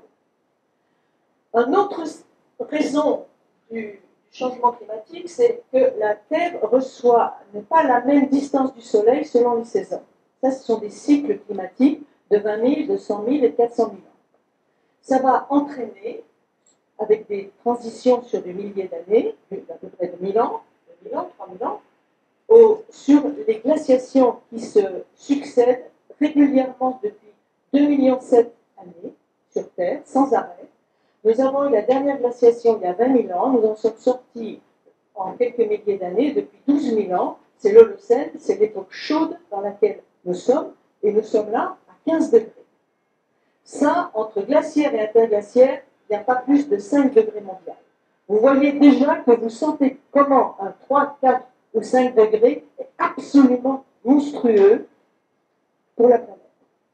C'est ça que je vous faire Ensuite, le troisième cas, eh bien, justement, ça va être cet effet de serre avec la composition de l'atmosphère. L'exemple, eh c'est ce fameux 1 degré que l'homme a rajouté à la planète depuis à peu près un siècle et demi. Alors, ce qu'il faut voir, il y a deux choses qu'il faut voir là-dedans. C'est que déjà, une fois que les gaz à effet de serre, c'est principalement le dioxyde de carbone, sont dans l'atmosphère, si on arrête d'en rajouter d'autres, eh bien, ça ne va pas disparaître. Ça va rester stable. Autrement dit, chaque degré gagné restera des siècles. Contrairement aux fluctuations du Soleil où euh, on va, on vient euh, selon les décennies ou les siècles. Donc, ça veut dire que pour stopper un réchauffement, il faut ramener absolument à zéro les émissions de gaz à effet de serre. Et non pas et non pas garder les émissions constantes. Confusion qui est quasiment faite régulièrement. On augmente à l'heure actuelle de 2 à 3% les émissions de gaz à effet de serre. Donc, un, non seulement il faut les stabiliser, mais il faut les ramener à zéro. Ensuite, la température qu'on a, c'est pas parce qu'on a ramené les gaz à zéro qu'on va revenir en arrière. Ça, ça prend des centaines, des milliers d'années. D'accord? Ça, c'est des confusions qui sont assez Après. Donc, je résume. Euh, sur le siècle, on a des petites fluctuations, les El Niño, etc., des fluctuations volcaniques quand il y a des grandes éruptions, quelques dixièmes de degrés moyens de la planète. Sur les, centaines, les, les siècles, les millénaires, on a à peu près du 1,5 degré à du 1 degré de changement. Je saute, c'est un peu plus compliqué d'expliquer la baisse régulière. On a euh, lié la distance Terre-Soleil très très légère. Et enfin, sur des cycles de 100 000 ans, vous avez le 5 degrés qui va complètement modifier la, la physionomie de la planète. Par exemple, euh, quand on dit 5 degrés de changement mondial, ou 1 degré, c'est la même chose liée au réchauffement à cause de l'action anthropique, il faut savoir que c'est le, mondial, le moyenne mondial, mais qu'en gros, pour l'hémisphère nord, ça double la quantité. Autrement dit, les changements glaciaires interglaciaires, c'est 10 degrés en France. Comme on était, comme à l'heure actuelle, on est à 12 degrés moyens annuels, eh bien, on était passé à 0 degré moyen annuel en glaciaire. Donc, on n'avait plus de forêt, mais c'était la steppe et la toundra. De même que notre réchauffement actuel de 1 degré sur un siècle et demi, eh bien, à nos latitudes, il est de 2 degrés pratiquement, 3 à 4 quand on monte vers les pôles. Donc, les 5 degrés, ils arrivent à 10, 15 ou 20 degrés aux hautes latitudes. Ça, c'est très important. Euh, maintenant, on va arriver au réchauffement qui s'est passé depuis euh, à peu près un siècle ou deux. Voilà, donc ça, ça correspond à 1 degré, 1 degré et demi selon les évaluations, selon ce qu'on veut regarder. Continuons. Ça, c'est vu, c'est fait. Et alors, donc, maintenant, on va regarder les, manifestations de ce réchauffement. Comme on a très très peu de temps, qu'il y a énormément de manifestations, il faut savoir qu'elles ne sont pas la cause de la dégradation de l'environnement, comme tu l'as dit, en gros. Elles sont en train de modifier justement les choses, mais le grand effondrement qu'on est déjà en train de vivre depuis des siècles, ce n'est pas le climat. Lui-même sur le dernier siècle, ce n'est pas le climat. Climat, c'est avenir. C'est confusion de ne pas faire ça. Et je vais prendre juste deux petits points précis parce que quand même c'est intéressant. C'est l'extrême climatique. Alors, les extrêmes climatiques, on va parler canicule principalement. Quand on a une température moyenne, il y a toujours des probabilités pour avoir parfois une température plus chaude selon certaines années. Il y a des, plus on va avoir des, avoir des températures chaudes, moins on a de chances d'en avoir. Plus c'est chaud, moins on a de chances d'en avoir. D'accord? Mais si on, si on se réchauffe, si la température moyenne augmente, c'est absolument normal que les canicules deviennent de plus en plus fortes ou la fréquence d'une canicule actuelle devienne de plus en plus grande. Ça, c'est mathématique. Autrement dit, il ne faut pas pousser des cris de... Quand on s'aperçoit qu'il n'y a plus de canicules, qu'il y a plus de feux de forêt, que ça brûle plus partout dans le monde, qu'il y a plus éventuellement de sécheresse en été et de problèmes d'eau, mais c'est inhérent au fait qu'on réchauffe la planète. Plus on la réchauffe, plus on aura ça. Ça, il faudrait déjà être parfaitement clair là-dessus. Deuxièmement, la fusion des glaces. Alors, il faut savoir qu'un glacier n'est pas tout de suite en équilibre lorsqu'il y a un réchauffement. Ça prend du temps qu'il arrive à une nouvelle position. Un petit glacier se rééquilibre en quelques dizaines d'années. Un grand glacier contre la centaine à peu près d'années. Par contre, Les calottes de glace de milliers de mètres d'épaisseur, comme le Groenland ou l'Antarctique, ça prend des milliers d'années.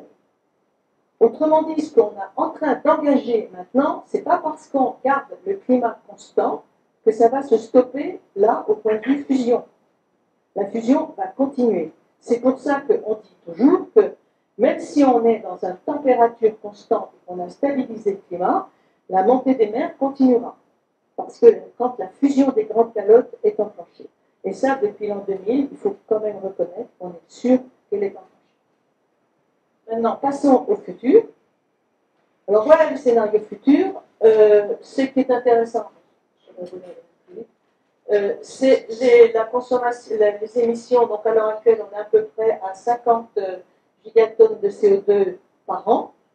Et si on arrive à baisser, on peut arriver au scénario de stabilisation en 2100 d'à peu près du 2 degrés. Si on continue en ligne droite ou si on accélère, on arrive facilement 3, 4, 5 degrés sans stabilisation. Attention, ne pas confondre.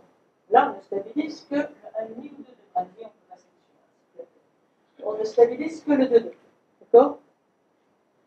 Euh, Quels sont, alors, après, c'est juste un petit, tout petit clin d'œil. Donc, euh, là, le cycle de l'eau va changer.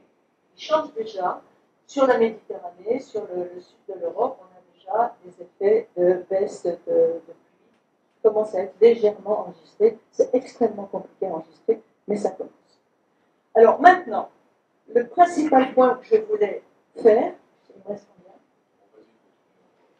euh, c'est comment situer soit ce 1 degré, soit ce 5 degrés, soit ce 1, soit ce 2, soit ce 3. Le 1, on l'a, hein. mais 2, 3, ou même 4, parce que vous voyez que ça quand même continue, on continue à mettre des gaz à effet de serre, on les avait stabilisés légèrement en quelques années, maintenant on continue à 2, plus de pourcents dernière année. Eh bien, on va donc regarder la température de la Terre depuis 60 millions d'années. Ça, c'est difficile à constituer. Donc, on était à 30, 35 degrés au lieu de 15 degrés maintenant, il y a euh, à peu près 50 millions d'années. Et depuis 50 millions d'années, pour différentes raisons, entre autres les quantités de CO2, mais aussi d'autres raisons, on a refroidi légèrement, lentement, avec des chaos, la planète. Et on est arrivé, alors, à 35 millions d'années, il a fait suffisamment froid sur Terre pour commencer à former la calotte antarctique qui était le plus froid, les continents plus froids sur Terre. Puis, de 35 à 3 millions, et bien maintenant, continuons à se refroidir, c'est les, calottes, c'est en hémisphère nord, c'est les continents, haute latitude de l'hémisphère nord, qui se sont englacés progressivement et qui, vous voyez cette espèce de grosse patate depuis 3 millions, que je vais un tout petit peu vous... Là, c'était la température, maintenant que vous allez aller voir vous allez voir le niveau marin, c'est-à-dire que voici ici depuis actuellement, on est, là, la date glaciaire actuelle, dans la, la, glaciation précédente qui avait été à 20 000 ans, euh, le niveau des mers avait baissé de 130 mètres. Donc depuis 3 millions, successivement, on a des oscillations de cinquantaine entre glaciation et déglaciation. Glaciation, d'abord 50 mètres de, de battement de niveau 4, 5 cycles, depuis à peu près 400, 500 000 ans, on a 120 mètres de niveau des mers avec remontée et écart de température de 5 degrés. Voilà, voilà où on en est actuellement en température dans les millions d'années qui nous précèdent. Il y a deux choses qui sont très importantes à dire. Une petite déjà intéressante, c'est que vous voyez qu'on a eu des interglaciaires chaque fois que le pic rejoint la bande noire euh, c'est un interglaciaire. Le point rouge, c'est l'interglaciaire actuel. Ce gros point représente 10 000 ans, 12 000 ans rigoureusement. Et euh, on a eu des interglaciaires plus chauds, mais pas beaucoup.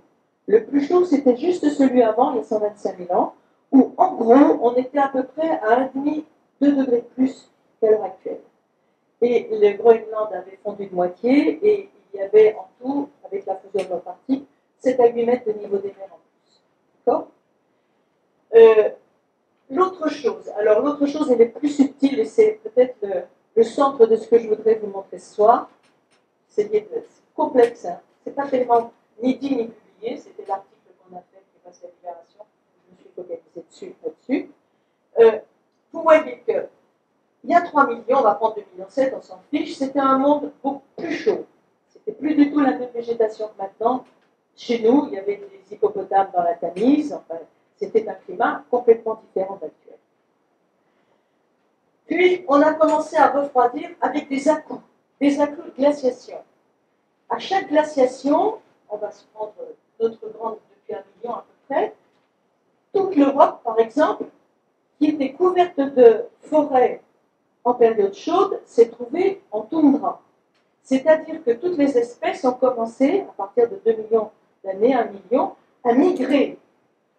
Quand il faisait froid, elles sont descendues vers les parties chaudes, puis de la planète, vers l'équateur, puis quand il a fait plus chaud, elles sont remontées. On est passé, nous, de toundra à forêt, en un même point, sans arrêt. D'accord? Finalement, chaque fois qu'il y a eu des coups durs de, froid, il y a eu un filtre qui, fait qu'on a transformé progressivement la, végétation, de l'époque de 3 millions jusqu'à maintenant.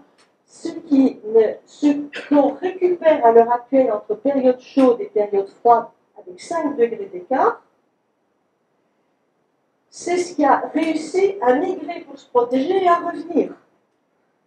C'est un concept qui est jamais, jamais dit, mais qui est capital pour moi. C'est-à-dire qu'on ne récupère à l'heure actuelle dans nos latitudes que ce qui a été capable de pouvoir revenir et subir ce 5 degrés d'aller et de retour. Pas vous faire le calcul, maintenant, il faut le sentir maintenant. Qu'est-ce qui va se passer? Si on monte de 1 degré, 2 degrés, vous voyez qu'on retombe dans des interglaciaires qu'on a déjà qui ont eu lieu. Donc, on, s'est adapté depuis, depuis 400 000 ans, par exemple, on va regarder les quatre grands cycles de 100 000 ans, on s'aperçoit que c'est toujours les mêmes arbres qui reviennent, les bouleaux d'abord, les pins en même temps, après c'est, etc. Il y a toute une section d'arbres qui arrivent pendant les 10 000 ans, puis qui repartent, qui s'éteignent, qui disparaissent, qui vont se réfugier ailleurs, et l'herbe qui pousse à la place. Mais maintenant, qu'est-ce qu'on envisage avec le réchauffement? Je vous ai dit deux choses capitales. Un, que si on fait un réchauffement, il dure. Ce n'est pas de la fluctuation solaire, on a le petit tas de glace qui va être remplacé par un autre.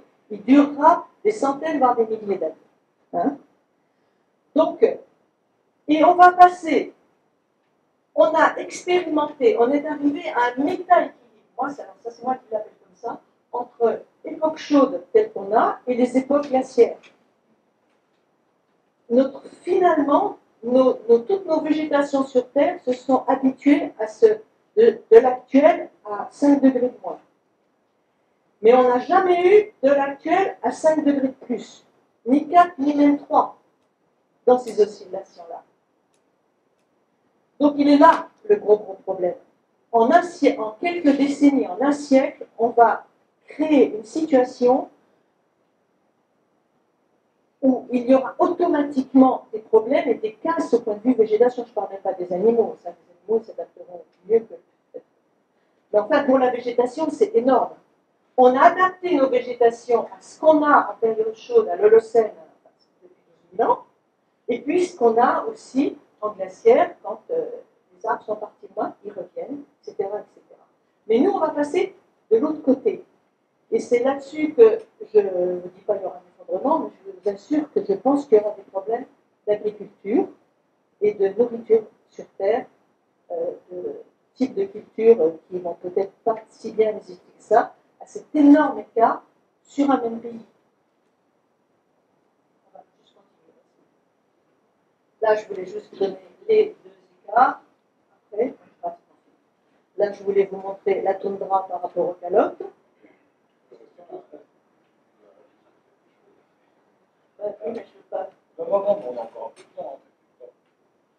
Donc voilà, donc euh, la toundra, les calottes allaient jusqu'à vers, euh, vers Londres, un peu au-dessus de Londres, et ici c'était la steppe et la toundra.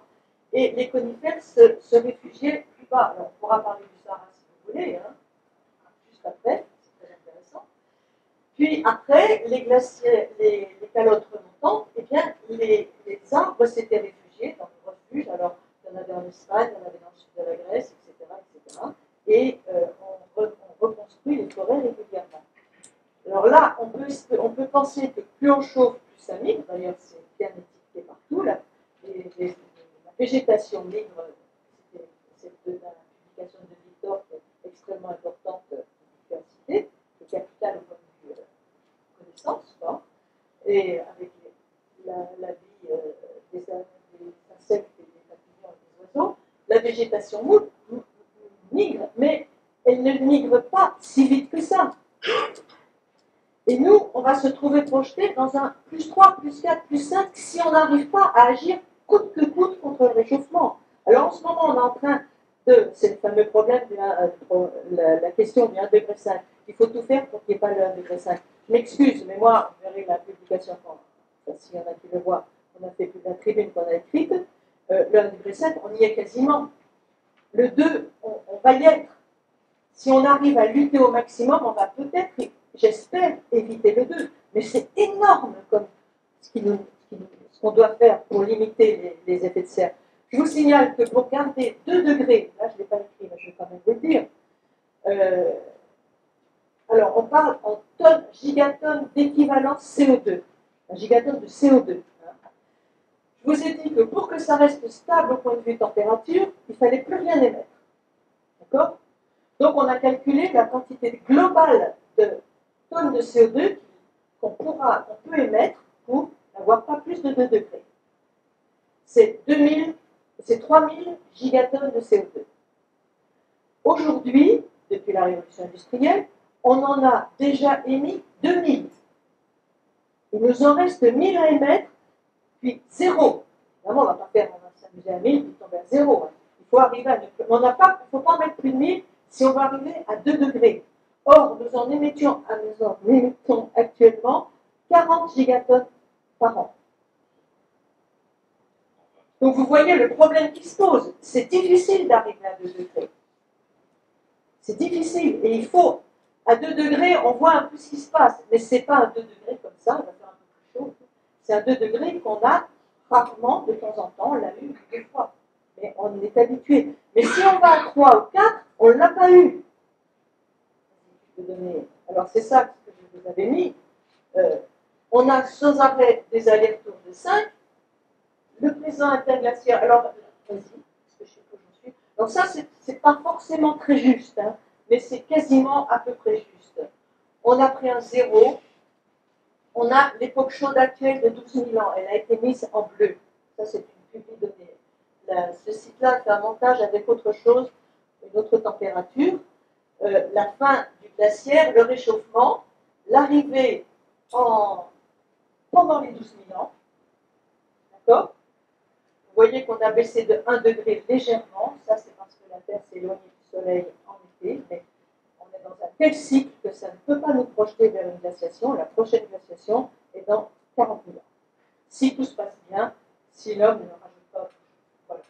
Donc, à droite, toujours en bleu, vous avez, c'est un, peu l'un sur l'autre, mais c'est toujours en vous avez le 1 degré de réchauffement sur deux siècles, vous voyez la petite flèche bleue, et là, dessus, il a été superposé les différents scénarios pour 2100. Alors, si c'est du 2 degrés, le fameux scénario de 2 degrés, le 2 degrés, quand on parle du scénario de 2 degrés, on le stabilise. D'accord? Donc, il n'y a, plus rien d'émis. Par, par contre, quand on parle de 3, 4, 5, eh bien, c'est une continuation des émissions et le scénario n'est pas encore stable. C'était la, je ramène deux, deux, trucs en arrière pour bien le voir, parce que c'est important. Non, non, plus, plus, plus, plus. Encore, encore, ça c'est des dessins. Encore, encore, encore, encore, encore. Voilà, c'est celui-ci. Vous voyez, il faut arriver à zéro pour de, que le climat soit stable. Si on continue à émettre, ça continue à se réchauffer. Alors on peut passer par un 3, 4 ou 5 degrés, mais là, le scénario dont on parle, il continue toujours à être. Espérer, stabiliser quand même, en faisant un certain du temps pour justement pas aimer plus de temps. Donc tout ce que je voulais vous dire, je peux passer à la fin maintenant.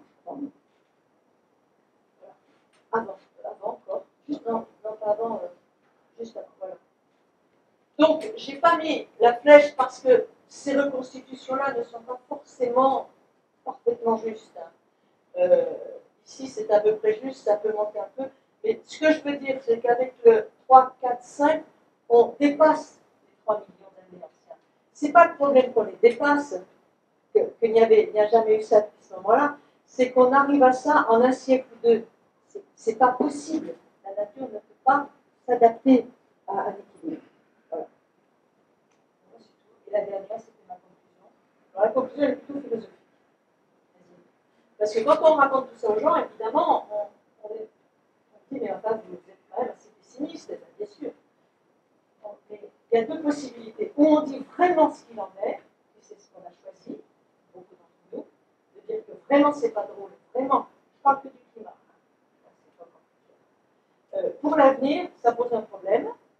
Et en même temps, ce qu'il faut voir, quoi qu'on fasse, il ne faut pas baisser les bras. C'est ça la partie vraiment philosophique.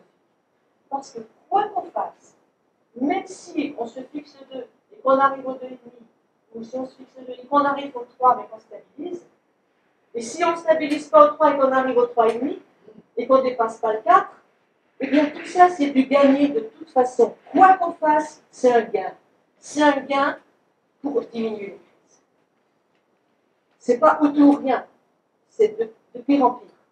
Donc, il faut agir dès qu'on peut, le plus vite possible, mais il ne faut pas se dire, ah tout est perdu, parce que quoi qu'on fasse, eh bien, ce sera un gain pour diminuer la quantité de Ce sera un gain pour diminuer les problèmes de nutrition. Je pense que ce sera le premier point, alors que moi, ça me touche beaucoup la nutrition, mais ce qui me touche en plus, c'est l'écologie et tous les systèmes qu'on est en train de sur la planète.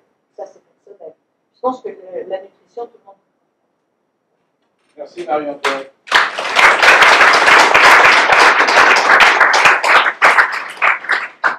10 minutes pour les questions, les retours.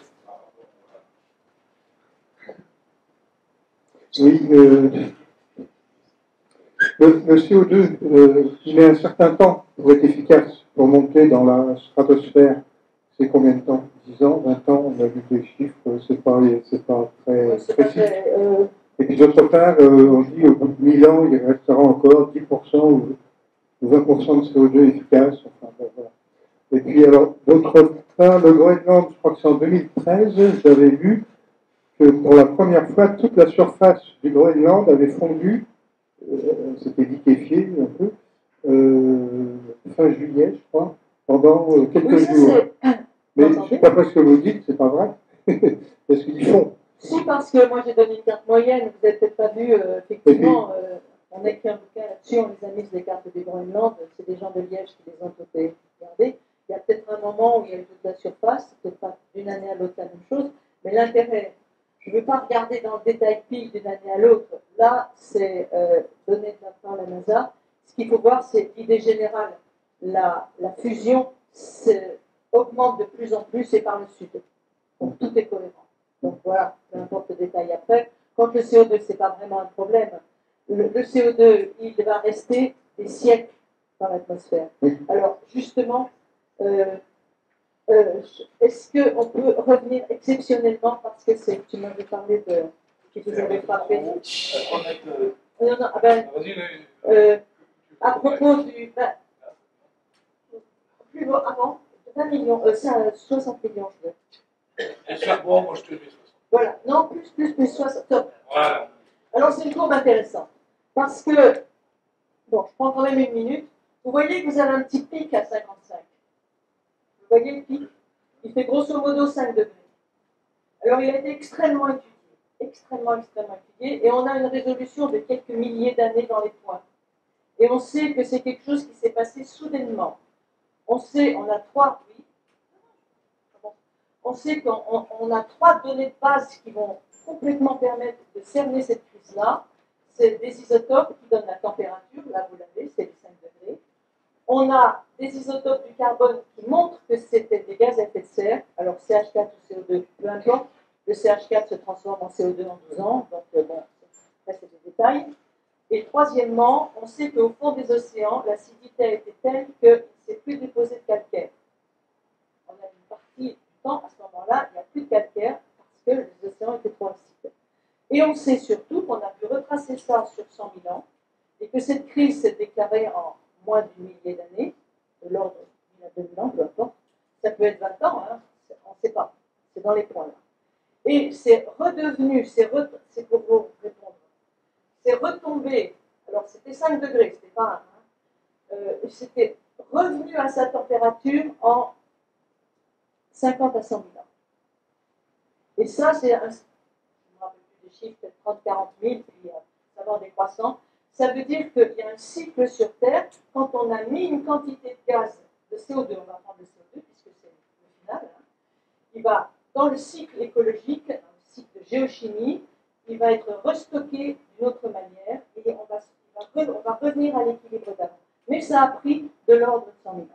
Et il y a eu évidemment grosse cassure dans la vie, une grosse cassure dans, dans la vie, et c'est une différence d'époque géologique.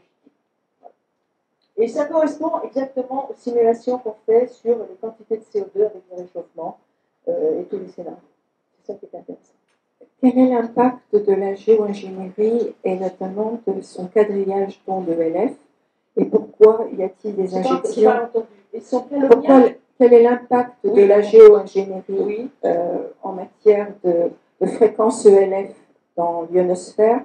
Et, euh, et, pourquoi fait-on, euh, parce que maintenant c'est tous les jours, nuit et jour, les, et, et l'impact des épandages, une cinquantaine de toxiques, au niveau mondial, il n'y a plus que l'Iran et le Chili d'après ce que j'ai euh, repéré, qui ne sont pas épandus à l'heure actuelle.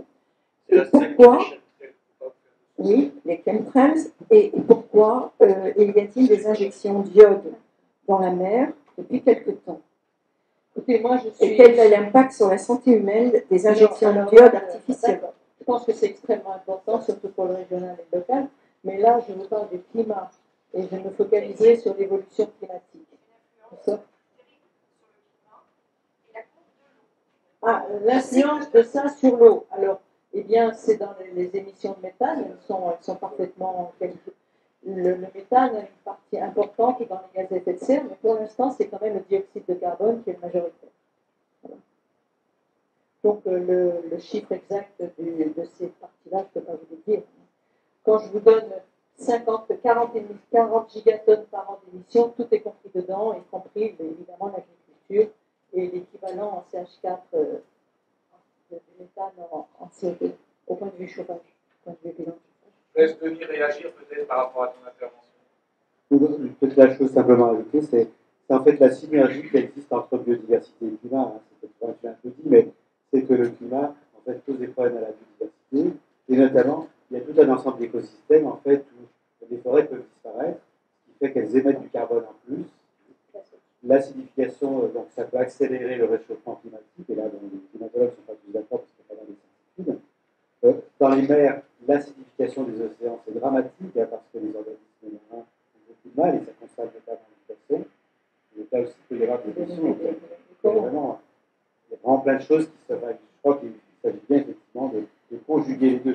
Et ça, il y a encore relativement peu de travaux, mais c'est pas parce que j'en ai pas parlé que je ne sais pas. Enfin, je veux dire, je, sais que c'est extrêmement important, mais je peux pas ouvrir.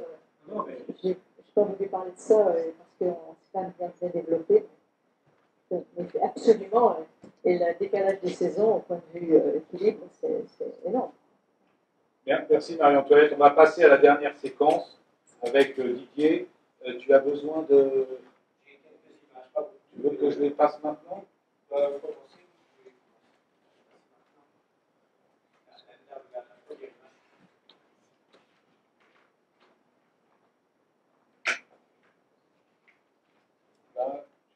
La empreinte écolo, c'est ça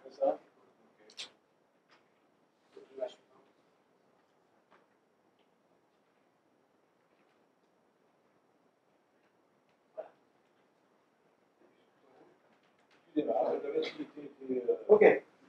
Ben, bonsoir et merci de cette invitation à parler d'un sujet qui est peut-être moins scientifique, mais pas moins conflictuel, peut-être tout aussi délicat.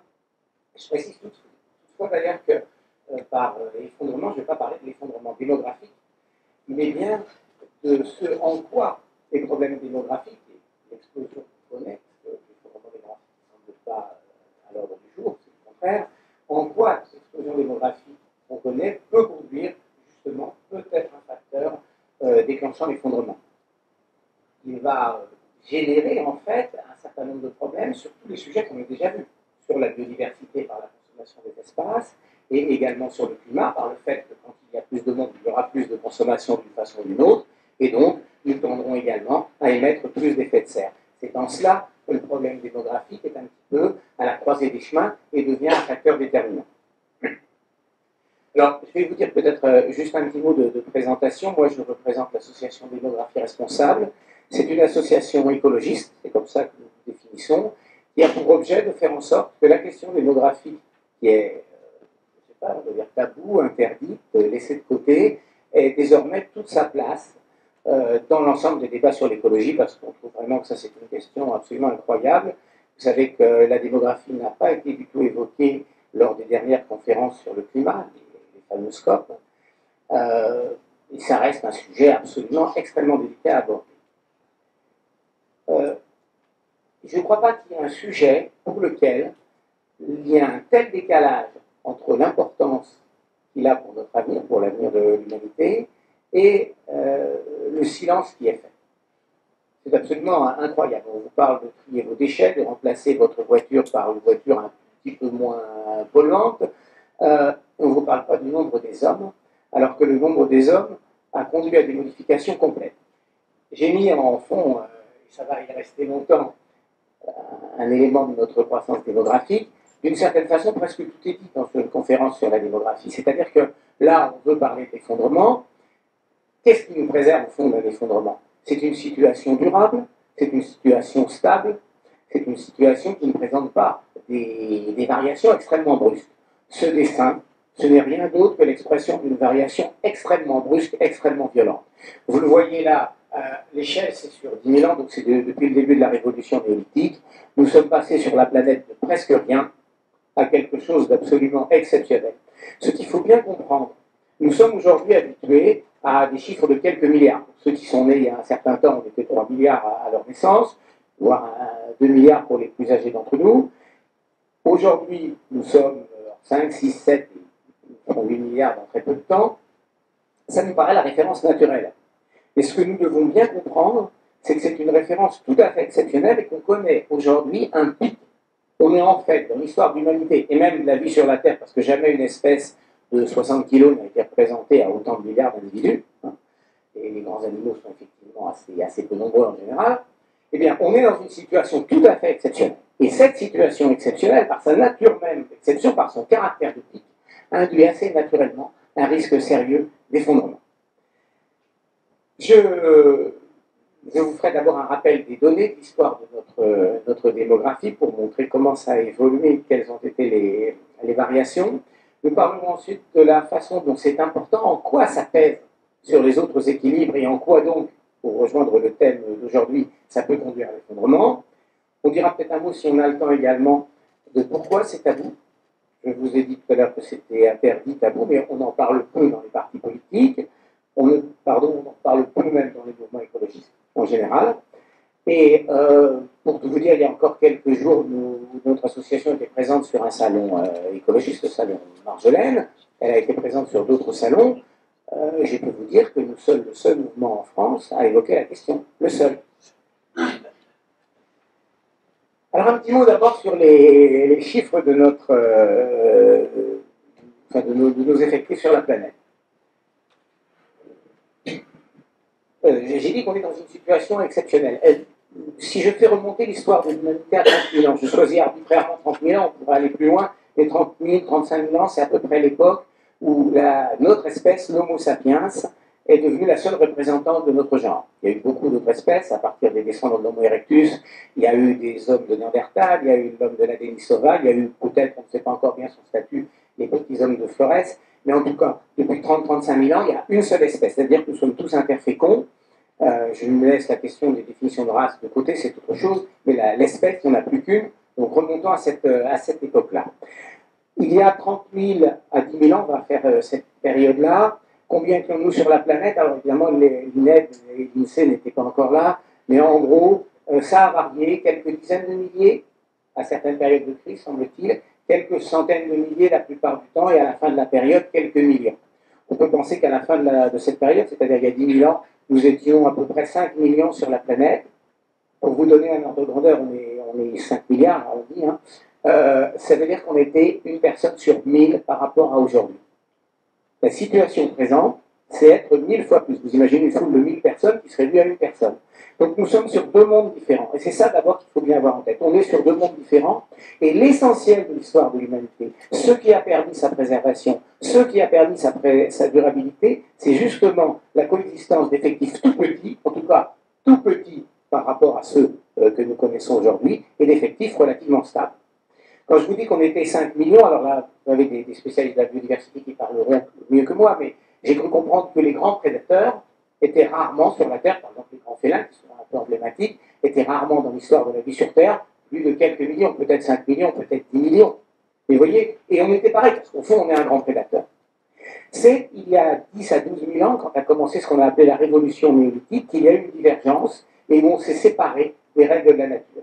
La révolution néolithique, on la présente souvent comme euh, la mise en place de l'agriculture et de l'élevage, c'est juste, mais plus généralement, c'est le fait qu'à cause de cette mise en place, l'humanité devient organisatrice des territoires. Ça, c'est une chose, c'est une chose que jamais une autre espèce animale a fait, en tout cas à cette échelle. Jamais. On devient organisateur des territoires, et cette organisation nous donne un accès aux ressources et une sécurité plus importante, et va conduire à une augmentation progressive de nos effectifs. Euh, cette révolution néolithique, elle a eu lieu, alors je la fixe il y a 12 000 ans avant le présent, euh, selon les endroits, elle s'est placée un petit peu plus tard, mais disons qu'il y, a, 12 000 ans, on était 5 à 10 millions, on ne sait pas exactement, mais c'est l'ordre de grandeur, et à la fin de la, de la période, telle que je vais la découper, disons à l'époque de Jésus-Christ, nous étions environ 200 à 200 millions sur la planète.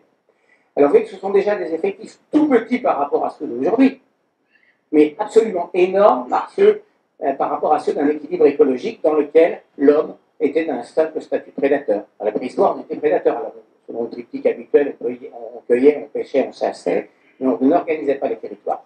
Le passage du stade de prédateur au stade d'organisateur nous a fait multiplier nos effectifs environ par 20 en environ une dizaine de milliers d'années. J'aime bien ensuite m'arrêter à l'époque de Jésus-Christ pour la, raison suivante. D'abord, c'est symbolique, c'est le début de notre ère. C'est aussi le début des sociétés centralisées avec Rome qui est assez typique, a une grande ville et puis le reste du territoire qui s'occupe de l'approvisionner. C'est aussi symboliquement la période qu'on associe à la, fameuse phrase que vous avez tous entendue, qui est la, phrase croisée et multipliée, qui semble, euh, comment dire, euh, être à la base de beaucoup des règles de nos sociétés. C'est un peu une trichée parce qu'en réalité, cette, cette phrase croisée et multipliée ne date pas de l'époque de Jésus-Christ, elle date de la Genèse. Elle a donc été écrite il y a 400 à 600 ans avant, avant Jésus-Christ, et euh, elle est intéressante parce qu'elle a été écrite dans un monde de 150 millions d'habitants, et quelque part elle nous sert encore de règle, pas seulement sur le plan démographique, mais également sur le plan économique, dans un monde de 8 milliards d'habitants. Enfin, je prends 3-4 années d'avance. Et peut-être qu'un de nos problèmes, c'est de maintenir des règles anciennes fixées sur un autre monde dans un monde actuel. Alors, quelle a été l'histoire de l'humanité? Vous la suivez sur le graphique derrière, à peu près stable, semble-t-il, jusqu'à peu près l'an 900, l'an 1000. On n'est pas absolument sûr, et on est surtout centré sur l'Europe, c'est pas exactement ce qui s'est passé partout dans le, monde, mais en gros, l'humanité est restée entre 200 et 300 millions d'habitants jusqu'à l'an 900. Puis ça a monté doucement, notamment avec un certain progrès de l'hygiène et, et de, la richesse euh, économique. Notons que cette période a quand même été marquée par une chose importante, du moins chez nous, qui est l'effondrement de l'Empire romain. Alors je ne sais pas si ça doit être un, exemple pour savoir ce qui va se passer euh, demain. Je suis toujours assez prudent euh, sur les exemples. On n'est jamais dans la même situation. L'Empire romain était probablement plus résilient que nous parce qu'il ne s'est quand même pas non plus effondré en cinq minutes. Les, nous étions, moins dépendants au réseau d'alimentation, nous étions dépendants d'absolument une quantité de réseaux, dont le réseau électrique en premier lieu. Et puis d'autre part, l'Empire romain n'était pas mondial, alors que nous, nous sommes plutôt dans une société mondiale. Mais enfin, c'est un premier exemple d'effondrement qu'on peut retenir.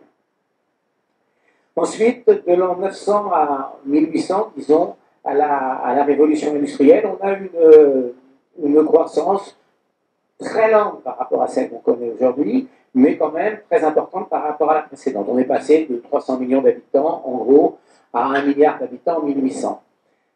Ça s'est en particulier accéléré à peu près à partir des années 1500. Là aussi, c'est produit à une chose assez étonnante, enfin étonnante, en tout cas qui est assez rare, c'est une baisse de la population mondiale. Une fois dans l'histoire de l'humanité, il y a eu une baisse de la population mondiale suite à la grande épidémie de peste des années euh, aux alentours de 1340. Voilà. On a eu à ce moment-là, alors c'est difficile à, dire, en France elle a été, elle a été importante, hein. on parle parfois d'un tiers de la population, et dans certaines régions beaucoup plus, mais sur le monde, donc je ne sais pas trop et on ne sait pas trop en réalité, mais la plupart des estimations tournent autour de 10% de la population mondiale qui a baissé. Ça ne s'est jamais reproduit après. Hein. Donc c'est un, un exemple. Alors, à partir des années 1800, on a atteint ce fameux premier milliard. Euh, il y a une augmentation beaucoup plus forte, puisque jusqu'à 1900, on est passé de 1 milliard à, 600, à 1 milliard 600 millions d'habitants en 1900. Euh, on a gagné 600 millions d'habitants en un siècle. C'est une explosion par rapport à ce qui se passait précédemment, et c'est une lenteur d'escargot par rapport à ce qu'on connaît actuellement, où on gagne un milliard en 11 ans. Vous voyez comment euh, les choses sur l'étape suivante ont été encore plus violentes. Donc voilà, 1800, 1 milliard, 1930, euh, 2 milliards, 1960, 3 milliards, 1974, 4 milliards, 1985, 86, 5 milliards, 99, 2000, 6 milliards, 2011, on a atteint le 7 milliardième, et le 8 milliardième, il, sera atteint en 2022 à peu près. Donc on a mis 30 000 ans pour atteindre le premier milliard, on a mis 130 ans pour atteindre le deuxième milliard, et on met aujourd'hui 11 ans pour atteindre un milliard supplémentaire. Une personne de 90, 92 ans aujourd'hui a eu le privilège, entre guillemets, le privilège de voir la population multipliée par 4 au cours de sa vie. Là, autant dire que c'est, que c'est jamais arrivé. Ça n'arrivera plus non plus d'ailleurs. Mais enfin, c'est jamais arrivé. Et euh, heureusement, ça conduirait à, à 88 à 32 milliards d'habitants. Euh, c'est d'ailleurs un peu le, comment, comment dire, le, testament de Claude Lévi-Strauss. Vous savez qu'à la fin de sa vie, Claude Lévi-Strauss s'est beaucoup, beaucoup exprimé pardon, sur la démographie. Et il a, il a dit ça, il été effrayé évidemment par la croissance du nombre et, rappelé qu'entre le début et la fin de sa vie, il y avait une telle croissance. Alors cette croissance n'est pas toujours perçue, et là, on peut voir parfois un peu aux démographes qui tentent de minimiser les choses en nous disant mais non mais ça baisse. Ça baisse parce que le taux de croissance euh, maximum a été atteint aux alentours de 1965, entre 1960 et 1970. Il a été de 2,1%, et aujourd'hui le taux de croissance annuel, il est de 1,15%. Bon, je dis, ça baisse. Sauf qu'évidemment, il n'y a pas besoin d'avoir reçu la médaille FIC pour comprendre que quand un taux plus faible s'applique à une population plus grande, en réalité, il peut très bien conduire à une augmentation concrète euh, du nombre d'humains plus importante. C'est ce qui se passe. Entre 60 et 70, on a gagné 700 millions d'habitants, avec le taux maximum. On a gagné 700 millions d'habitants, 70 millions d'habitants par an. Donc, aujourd'hui, alors qu'on nous dit que ça s'améliore, on en gagne entre 80 et 90 millions selon les estimations. Donc, en réalité, en nombre, la croissance de la démographie est beaucoup plus forte. Elle n'est pas maximum, elle a été maximum, il faut le reconnaître, aux alentours des années 95, avec justement 95 millions d'habitants en plus chaque année. Mais enfin, aujourd'hui, elle est quand même extrêmement forte. Alors, au sein de cette démographie globale, bien entendu, il y a des situations particulières sur la Terre. L'Asie reste le continent euh, géant avec 4,5 milliards d'habitants. Il a deux géants en particulier, l'Inde et euh, la Chine. Vous savez, dans 5-6 ans maintenant, c'est l'Inde qui va prendre le, le relais du pays le plus peuplé du monde parce que l'Afrique, l'Asie, pardon, la, Chine a baissé euh, son taux de croissance. Elle est à 0,5% de croissance. Elle est même en dessous de deux enfants par femme maintenant. Et donc la Chine, l'Inde, qui a une, croissance démographique euh, plus rapide, va probablement, enfin probablement, certainement d'ailleurs, dépasser la Chine dans quelques années. L'Asie connaît aussi avec le Bangladesh le pays le plus peuplé du monde en termes de densité, puisque ce pays, qui est quand même un bon tiers de la France, donc ce n'est pas, pas, un petit État, hein, eh bien ce pays a une densité de 1100 habitants par kilomètre carré. Pour vous donner une image, si nous avions cette densité-là en France, euh, nous serions à 600 millions d'habitants. Je vous laisse imaginer le RER. Surtout le C. Je ne suis pas parisien, mais je fais confiance. Surtout le C. Vous avez aussi des cas particuliers avec l'Afghanistan. Alors, ils m'ont peuplé l'Afghanistan, mais enfin, l'Afghanistan, vous avez 45% de la population qui a moins de 15 ans. Donc, vous imaginez ce qui veut dire dans les années à venir le nombre de gens qui vont arriver en âge d'avoir des enfants. C'est-à-dire que même si chacun en a peu, il va y avoir un moteur de croissance absolument extraordinaire. Mais vous avez également dans ce pays 5,3 enfants par femme, c'est-à-dire chaque couple se transforme en 5,3 personnes, c'est-à-dire tendanciellement en une génération, on multiplie la population par deux et demi. Euh, vous savez ce que donnent les intérêts composés, euh, ça, ça vient vite à des, à des choses absolument extraordinaires. Alors je n'ai pas parlé de l'Europe, au fond, elle est dans le continent euh, eurasiatique, comme on dit. Euh, elle est aussi densément peuplée, elle pose aussi d'autres problèmes par la richesse économique qui fait que chacun consomme beaucoup. Je parle de l'Afrique. Alors l'Afrique n'est pas le continent le plus peuplé, bien sûr, c'est l'Asie. L'Afrique est quand même nettement plus peuplée, aussi bien en nombre qu'en densité que l'Amérique. Mais l'Afrique, évidemment, c'est là que se pose le problème, puisque euh, c'est là qu'elle a le plus gros potentiel de croissance. On estime 80 à 90% de la croissance démographique du monde au cours du XXIe siècle aura lieu en Afrique. Donc là, il y a vraiment un, enjeu extrêmement important. Euh, L'Afrique avait 200 millions d'habitants en 1950. Elle en a à peu près, hein, peut-être, c'est l'ordre d'idée. Et en 2015, elle en a 1 milliard 200 millions, c'est-à-dire qu'elle a multiplié par 6 en 65 ans, par 6. Pas qu'elle multiplie par 6 une nouvelle fois, parce que ça va à 36 ans. En 2050, elle en aura 2 millions 400 000, c'est-à-dire qu'elle va doubler d'ici 2050. 2 milliards, oui, pardonnez-moi. 2 milliards. Et puis en, 2100, alors 2100, euh, c'est toujours plus incertain, bien sûr, mais l'ONU prévoit qu'elle en aura euh, un peu plus de 4 milliards. Donc une situation qui va être quand même effroyable. Il ne faut pas se cacher. Vous avez des pays tout à fait euh, avec des situations particulièrement délicates, comme le Nigeria, qui est le géant africain, qui a peut-être 190 millions d'habitants aujourd'hui, et les projections de l'ONU donnent 700 millions. Euh, euh, le, Nigeria fait le dixième de la surface des États-Unis et il va avoir euh, entre deux et trois fois la population des États-Unis. Ça ne va pas tenir. Donc très probablement que les projections de l'ONU ne seront pas tenues, mais pas pour de bonnes raisons, mais parce qu'il risque d'y avoir des drames. Pareil pour le Niger. Alors le Niger est beaucoup moins peuplé, mais le Niger, c'est le record du monde de fécondité avec 7,3 enfants par femme. Donc là, vous faites le calcul. chaque génération, la population est tendanciellement multipliée par 3,5. Donc, euh, au bout de trois générations, ça fait multiplier, une multiplication par 30. Vous avez d'autres cas comme l'Égypte, par exemple, qui avait entre 2 et 4 millions, disons 3 millions d'habitants à l'époque de Napoléon, et qui a maintenant 100 millions d'habitants. L'Égypte est d'ailleurs sur sa partie habitable, parce qu'il faut compter la partie habitable. Sur sa partie habitable, l'Égypte est le pays le plus peuplé du monde. Au-delà même du Bangladesh, il y a 2000 habitants par kilomètre carré. Ça se voit très bien sur les photos aériennes de nuit, où vous voyez que le delta du Nil est la, très étroite bande de population autour du Nil est la région la plus brillante de la planète, la plus brillante.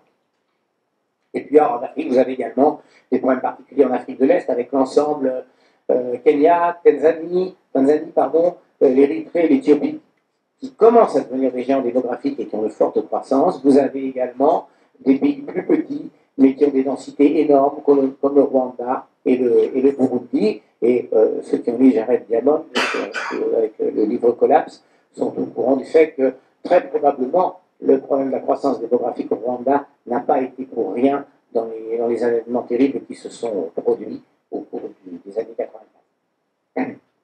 En ce qui concerne l'avenir, euh, bon, sur le moyen terme, c'est-à-dire sur 2050, on peut considérer que les, projections sont, fiables, je vais vous les donner tout à l'heure. Sur 2100, elles sont, évidemment un petit peu moins fiables, mais il faut se méfier. Des fois, les projections sont justes. Euh, j'ai retrouvé récemment dans un, dans un magazine Science et Vie de 1958 une projection, en 58, donc on était 42 ans avant l'an 2000, qui disait en l'an 2000, nous serons 6 milliards. On l'a été en octobre 99, c'était quand même pas, pas si mal que ça. Donc, ne critiquons pas trop les projections. Euh, donc, les, les, projections pour 2050, il y a des projections hautes et moyennes. Les projections de l'ONU nous donnaient en 2008, elle nous disait qu'on serait 9 milliards 100 millions. En 2010, elle disait qu'on serait 9 milliards 3. En 2012, elle disait qu'elle serait 9 milliards 6. En 2014, qu'on serait 9 milliards 7. Et en 2016, elle dit qu'on sera 9 milliards 8. Et d'ailleurs, l'INET, pardon, est maintenant sur le même schéma. Ce que je veux dire par là, c'est que là aussi, et contrairement au discours qui nous est parfois donné, c'est contradictoire, c'est curieux, quand ils donnent les chiffres, au moins les démographes montrent bien euh, qu'ils sont parfaitement conscients qu'il y a euh, contrairement au discours dominant, un rehaussement permanent de la, croissance de la démographie.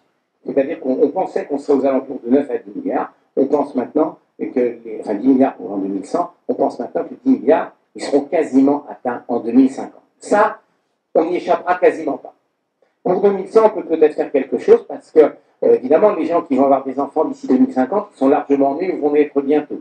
Il est peu probable que les, taux de fécondité diminuent sensiblement ou modifient sensiblement.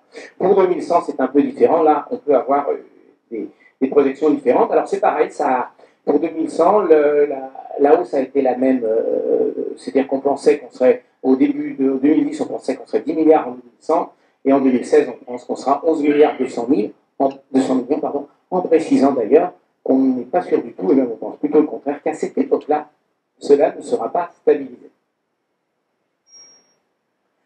Alors, qu'est-ce qui, qui, provoque ça? Ben, Ce qui provoque ça, c'est que le mécanisme général de transition démographique, c'est-à-dire le passage d'une haute fécondité et haute mortalité à une basse fécondité et basse mortalité, passage qui se fait avec d'abord la baisse euh, de la mortalité et ensuite la baisse de fécondité, donc période dans laquelle il y a une forte augmentation de la démographie, eh bien, cette période-là semble s'étendre un peu plus qu'on ne le pensait, et notamment elle s'étend en Afrique, où la baisse de la fécondité n'a pas suivi la baisse de la mortalité.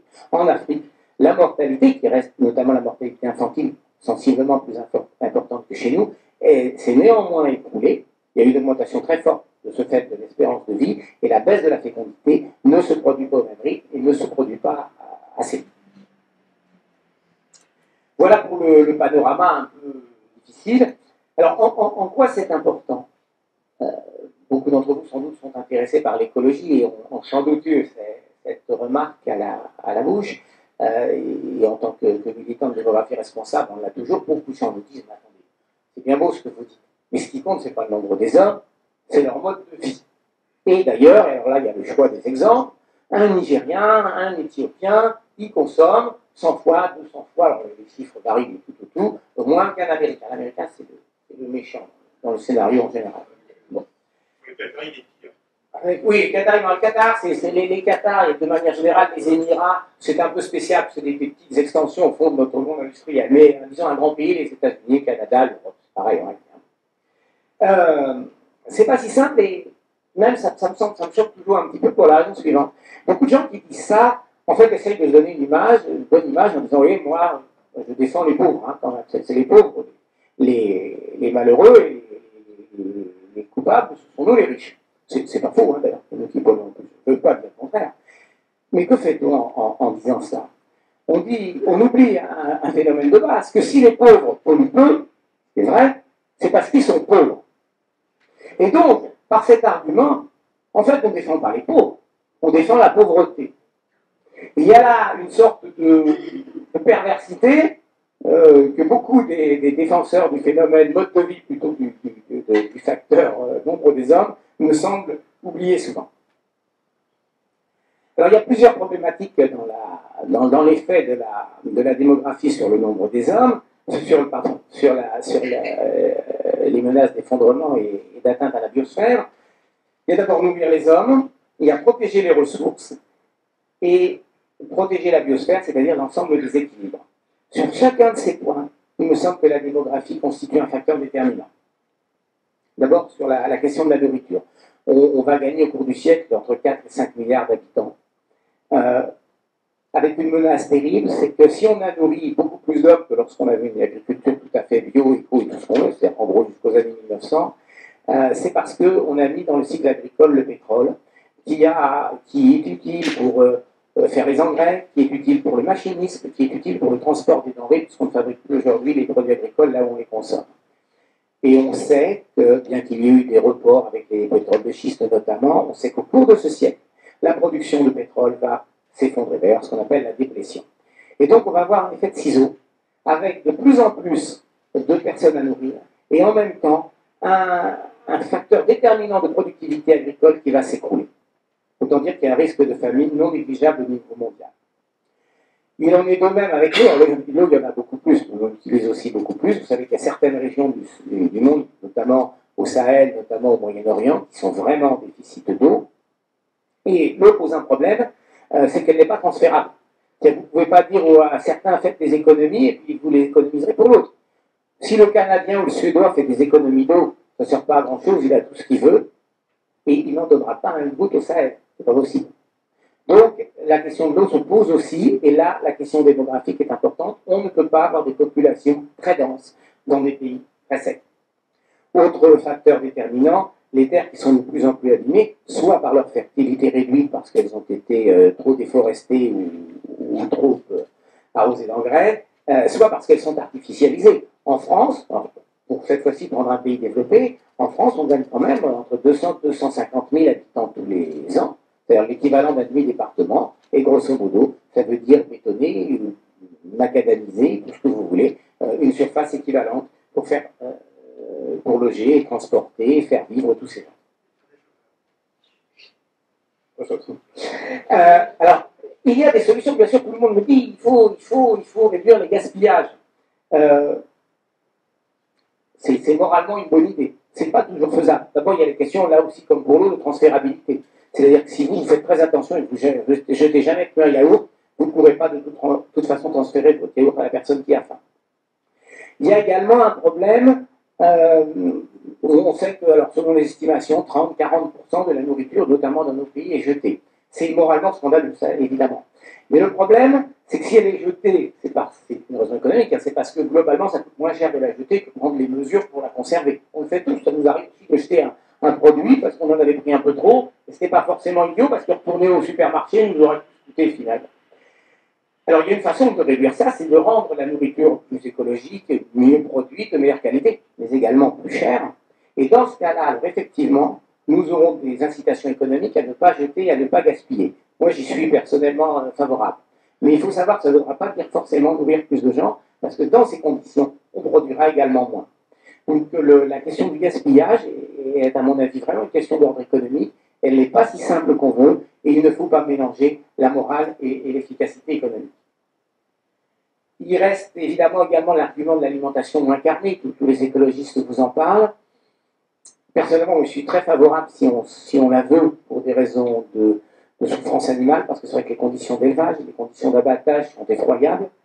Euh, maintenant, si c'est pour pouvoir nourrir toujours plus de gens, ça m'ennuie un petit peu parce que c'est rentrer dans un, dans un cycle que j'estime dangereux qui va consister à nous, à nous priver de tout au profit de pouvoir toujours être plus nombreux. Ce que j'appelle un droit contre tous les autres. Le droit à être plus nombreux va nous pousser à renoncer à la viande, à renoncer à avoir une maison. D'ailleurs, il faut densifier les villes, habiter dans les états collectifs, la petite maison avec le petit jardin, ben, vous n'y avez plus droit parce que ce n'est pas écologiquement correct. À renoncer au voyage, je ne fais pas là l'apologie de la consommation, hein, mais, euh, et je pense que voyager de temps en temps, ça peut être intéressant aussi. Eh bien, tous ces droits, petit à petit, au nom du droit du monde, risque de nous être euh, opposés. Et ça, euh, c'est un, élément qui me semble également déterminant. Alors, il faut. d'accord. Ça va. Alors, il faut également préserver les ressources. Je ne vais pas trop en parler là parce que souvent c'est évoqué dans les, dans les, dans tous les débats sur l'écologie. Ça, on, l'a déjà vu. personnellement, je pense que ce qu'on appelle la croissance verte relève de l'oxymore. Je dis plus directement, ça relève du mensonge. Ce n'est pas ce n'est pas vraiment durable. Euh, la décroissance est peut-être probablement plutôt plus verte que la croissance. Il y a une chose également qui est importante et où la démographie a un rôle déterminant, c'est la préservation de la nature. Alors on l'a déjà évoqué tout à l'heure. Euh, il y a deux raisons pour cela. Euh, il y a une raison d'abord, alors pardon d'évoquer ce sujet, mais moi il me tient, c'est une raison morale. L'engagement écologique, c'est aussi un respect pour la beauté du monde. Et je crois, euh, quand on traverse la banlieue parisienne, elle est plus là la beauté. Elle, est plus là la beauté, et moi j'habite à Lyon, c'est pareil, hein, rassurez-vous, je n'ai pas de, préférence. Mais il y a, y a, une question, on ne préservera pas la beauté du monde euh, dans, un, dans un monde avec 11 milliards d'habitants, et on ne préservera pas ses autres habitants non plus.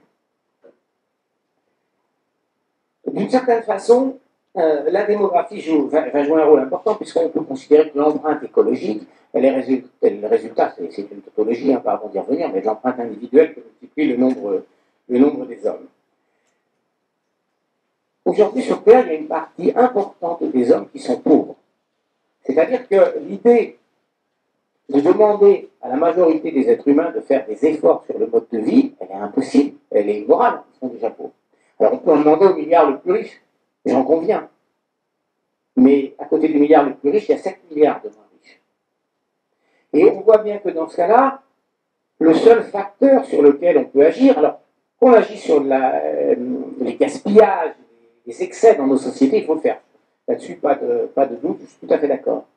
Mais il est incontestable que pour la partie la plus nombreuse et la plus potentiellement croissante, c'est ça qui est important, la plus potentiellement croissante de notre monde, il va falloir agir également sur la démographie. Nous ne serons pas, nous ne serons pas à la fois euh, riches et nombreux. Il faut choisir. Est-ce qu'on veut être pauvre et nombreux ou est-ce qu'on veut pas être riche, pas mais au moins vivre dans des conditions décentes? Moi, j'ai tendance à préférer un monde avec moins d'habitants et qui sera durable. Parce que là, s'il est durable, d'ailleurs, il y a peut-être plus d'êtres humains qui profiteront un jour de la Terre, euh, qu'un monde absolument pauvre et dans le délument au profit d'être toujours plus nombreux. La question du nombre des animaux pose aussi un problème. On parle souvent de, sixième extinction, euh, mais qui, qui serait une menace. Mais ce n'est pas une menace, c'est déjà fait. C'est déjà fait. Il y a euh, aujourd'hui, on voit des statistiques qui disent que 80-90% des animaux, au-delà d'une certaine taille au moins, sont soit des animaux domestiques, soit des hommes. C'est qu'en fait, la biosphère, avec tous ses équilibres, avec le rôle qu'évoquait monsieur des grands animaux euh, pour certains mécanismes d'équilibre écologique, il est déjà par terre. Il est déjà par terre. Euh, il y a encore quelques temps, quand je faisais des, interventions, je, je, me référais aux, travaux du WWF qui nous avait dit que de 70 à il y a quelques années, on avait, multiplié, on avait divisé le nombre d'animaux par deux. J'avais remarqué que dans le même temps, on avait multiplié le nombre d'animaux par deux. Depuis qu'on est allé sur la Lune, en gros. Deux fois plus d'hommes, deux fois moins d'animaux. Vous vous rendez compte? C'est-à-dire que pour un homme, en quelques années, 40 ans, 40 ans, c'est pour nous simplement, mais c'est un battement aussi, hein, c'est rien 40 ans. Il y a quatre fois, depuis qu'il y a récemment le film euh, First Man de, de, Neil Armstrong, depuis ce moment où ce film a été, enfin, il a inspiré en tout cas, il y a quatre fois moins d'animaux pour un homme sur la Terre. On on, va encore 40 ans plus loin et on fait 16 fois moins. C'est une, aberration. Le réchauffement climatique, c'est très grave. À terme, potentiellement, c'est grave. Mais les, les 1 degré 2 dont parlait madame euh, tout à l'heure, voilà, les 1 degré 2, c'est pas eux, qui ont tué les, les animaux. C'est pas eux qui ont fait que, euh, pour l'instant, il y, avait 100 000, 100 000 tigres au début du XXe siècle, en 1900. Il y en a 3 000 dans la nature aujourd'hui. Pour l'instant, ce qui les a tués, c'est qu'on a pris leur place. Donc vous voyez, il y a toujours ce décalage énorme entre ce dont on parle, il faut parler du réchauffement climatique, et ce qui, contrairement, est en train d'écraser tout à fait la biosphère. Donc je veux vraiment insister là-dessus. Le, euh, facteur démographique est, essentiel. juste un petit mot, une minute. Donc pour le, le, tabou, donc euh, j'en ai parlé, j'ai dit que c'était très important dans le milieu écologiste, dans les, en fait dans tous les, dans tous les groupes humains. Les, les partis politiques sont, sont natalistes, les religions sont natalistes, les même parfois les décroissants, on appelle ça, vous voyez Même parfois les décroissants. Euh, il y a eu quelques exceptions dans l'histoire. Les cités grecques se sont préoccupées de leur nombre pour rester toujours en petit nombre. Il y a eu l'exemple de la Chine et de l'Inde qui ont euh, mené des politiques, l'Inde avec l'échec, la Chine avec une certaine réussite. Il y a eu les écologistes français, Cousteau et, comment il s'appelle, euh, Dumont au début, avaient vraiment abordé le sujet. Il y a eu des grands intellectuels internationaux, des grands savants internationaux, je pense à James Lovelock, l'auteur de Gaïa, je pense à Paul Ehrlich, je pense à Amidose. Il y a également des grands intellectuels, on trouve des citations anti, antinatalistes chez euh, Lévi-Strauss, c'est Einstein, c'est Bergson, c'est Marguerite Yourcenar. Donc vous voyez, ça ne laisse pas entendre que les antinatalistes... Cochet aussi. C'est Cochet aussi. Juste, juste en dessous d'Einstein. Euh, c'est le Cochet, donc vous voyez il y a quand même un certain nombre de cerveaux, euh, pas forcément complètement stupides, qui ont pensé que ça posait problème. Et dans les hommes politiques, alors il y a Yves Cochet, il y a Antoine Wechter également qui, évoque la question, et vous aviez eu deux déclarations de deux hommes politiques, alors euh, également plus d'envergure, même qui sont euh, euh, Nicolas Sarkozy qui a proposé qu'on fasse des COP sur la démographie, et plus récemment Emmanuel Macron qui, lorsqu'il est allé deux fois en Afrique, a évoqué, a évoqué la question. Les raisons de ce tabou, elles sont nombreuses. C'est un sujet intime, on ne peut pas toucher à, nos affaires, à nos choses qui nous plus chères. Il y a l'amour des enfants, il y a l'idée que si on parle de ça, on a l'impression de s'attaquer aux plus pauvres, voire s'attaquer à l'Afrique, avec tout ce que ça suppose de, de Et puis il y a une sorte de séduction intellectuelle. Euh, si je vous dis c'est compliqué il y a des tas de facteurs qui s'entremêlent, je vais passer pour quelqu'un de brillant qui a beaucoup étudié la question. Si je vous dis non, c'est le facteur déterminant, je vais passer pour quelqu'un de simpliste. J'assume quand même. Voilà. Euh, voilà, on ne va pas aborder que faire, il y aura peut-être deux questions, mais merci de votre attention.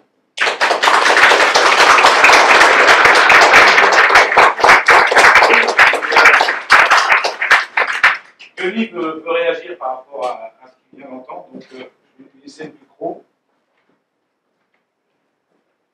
Il y a deux points sur lesquels je suis, je suis en désaccord, hein, c'est-à-dire que notamment ce que montrent les démographes de l'IASA, qui sont la référence mondiale, c'est qu'avec les objectifs de développement durable, il y aurait une réduction de la démographie très significative, hein, c'est-à-dire qu'on passerait nettement en dessous, de, en dessous de 9 milliards, ça c'est la première chose. La deuxième chose, c'est que vous avez parlé de droit, donc vous défendez notre droit à voyager, à avoir un jardin de, en banlieue, et puis notre droit à consommer des protéines animales. Ce droit s'exerce aux dépens des socio-écosystèmes des pays pauvres et un facteur destructeur social et est un des facteurs d'augmentation de la démographie dans les pays pauvres. Donc faites attention parce que le droit effectivement à la fécondité dans les pays pauvres, c'est un droit aussi. Donc faites attention dans le respect des droits de chacun. Et là, je trouve que vous défendez peut-être un peu trop le droit des Européens aux dépens des droits des Africains. Vous avez extrêmement mal compris ce que je dis. Extrêmement mal compris. Je n'ai pas défendu le droit des Européens, j'ai défendu le droit au contraire de tous les hommes. D'autre part, euh, les statistiques selon lesquelles les démographes vont nous prévoir à moins de 9 milliards, euh, tout, excusez-moi, mais là c'est complètement faux. Et d'autre part, vous, supposez quelque chose qui est incroyable, c'est-à-dire que le développement, ça va marcher.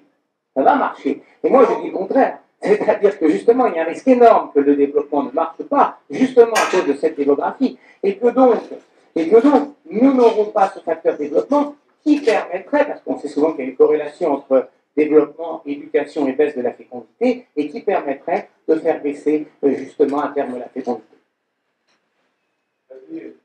Oui, bonsoir. Vous aviez pris la précaution de dire que c'était un, sujet délicat, vous avez raison. Euh, je premièrement, c'est très bien qu'on puisse euh, en parler, et pour autant, euh, je veux dire, vous n'êtes pas vraiment convaincu euh, non plus, mais peut-être que j'ai mal compris aussi.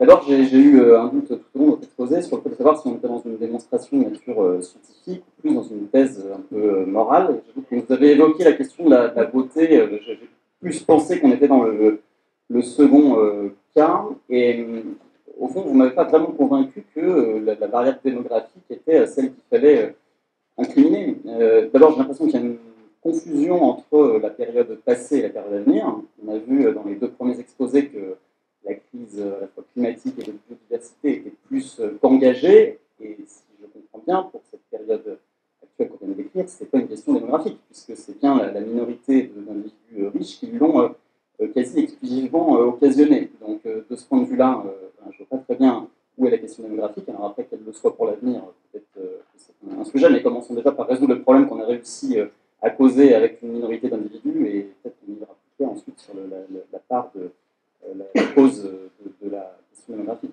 En, statistique, une, corrélation n'a jamais fait une causalité. Je, crois qu'il y a un peu une confusion. Ah bah, je, suis le premier défenseur de cette idée-là. Corrélation. Non, euh, sur l'aspect écologique, euh, sur le réchauffement climatique, en effet, ce n'est pas le nombre des hommes qui, pour l'instant, a réchauffé, je l'ai dit ça, n'a même pas réchauffé de 1,2 degré. C'est effectivement les émissions de gaz à effet de serre de la partie la plus consommatrice des hommes. Mais par contre, sur la biodiversité, ça, c'est le nombre des hommes. Deux sujets sont différents. Beaucoup de questions là, sur la démographie. Ah, moi, c est, c est, je me doutais bien que la controverse allait, être, allait rebondir sur cette question. Et vous pouvez, excuse-moi, vous pouvez aussi poser d'autres questions euh, qui ont trait euh, aux deux autres euh, exposés. Là. Bonsoir. Bon. Ce n'est pas vraiment une question que je vais poser. Je vais faire un commentaire comme monsieur a fait à l'instant. Pour moi, ce que j'ai apprécié ce soir, c'est qu'il y a eu un chapitre qui a été, je vais dire, entre guillemets, scientifique, sans graphique, sans cours. C'est simplement, on a compté des hommes et c'est un fait établi. Les deux autres sujets, pour moi, sont des sujets qui ne sont pas objectifs. On parle de fantasmes, on parle de projections, on met plein de courbes dans tous les sens, simplement pour cacher la misère de la réflexion. Donc, notre invité, c'est bien la, la qu'on appelle la bombe, euh, la démographique. Je suis un garçon qui suis né il y a 75 ans. À 20 ans, j'ai étudié le rapport Mido hein, du Code de Rome et j'ai découvert que toutes les projections que faisaient les scientifiques avec des pourcentages qui, qui poursuivent pendant des années aboutit à des espèces de pics incroyables et la réalité a montré que c'était bidon. Voilà. Et moi, quand je vois les courbes qu'on voit ici, non, ça c'est du passé. Ça c'est du passé, ça. Donc, c'est objectif. Voilà. Euh, Peut-être que euh, tu souhaiterais dire quelques mots sur le fait que les scientifiques euh, ne produisent que des résultats bidons. En prévision, en prévision. Là. Je- d'abord de- pas.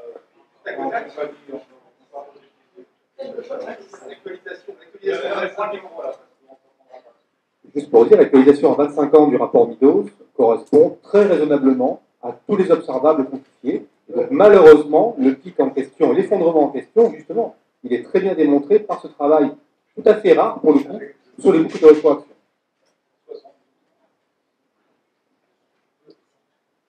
Euh, Meadows, c'est- c'est facile parce qu'il y, a un stock de ressources qui est fini et il y a, une consommation. Donc, euh, il suffit de croiser- les deux.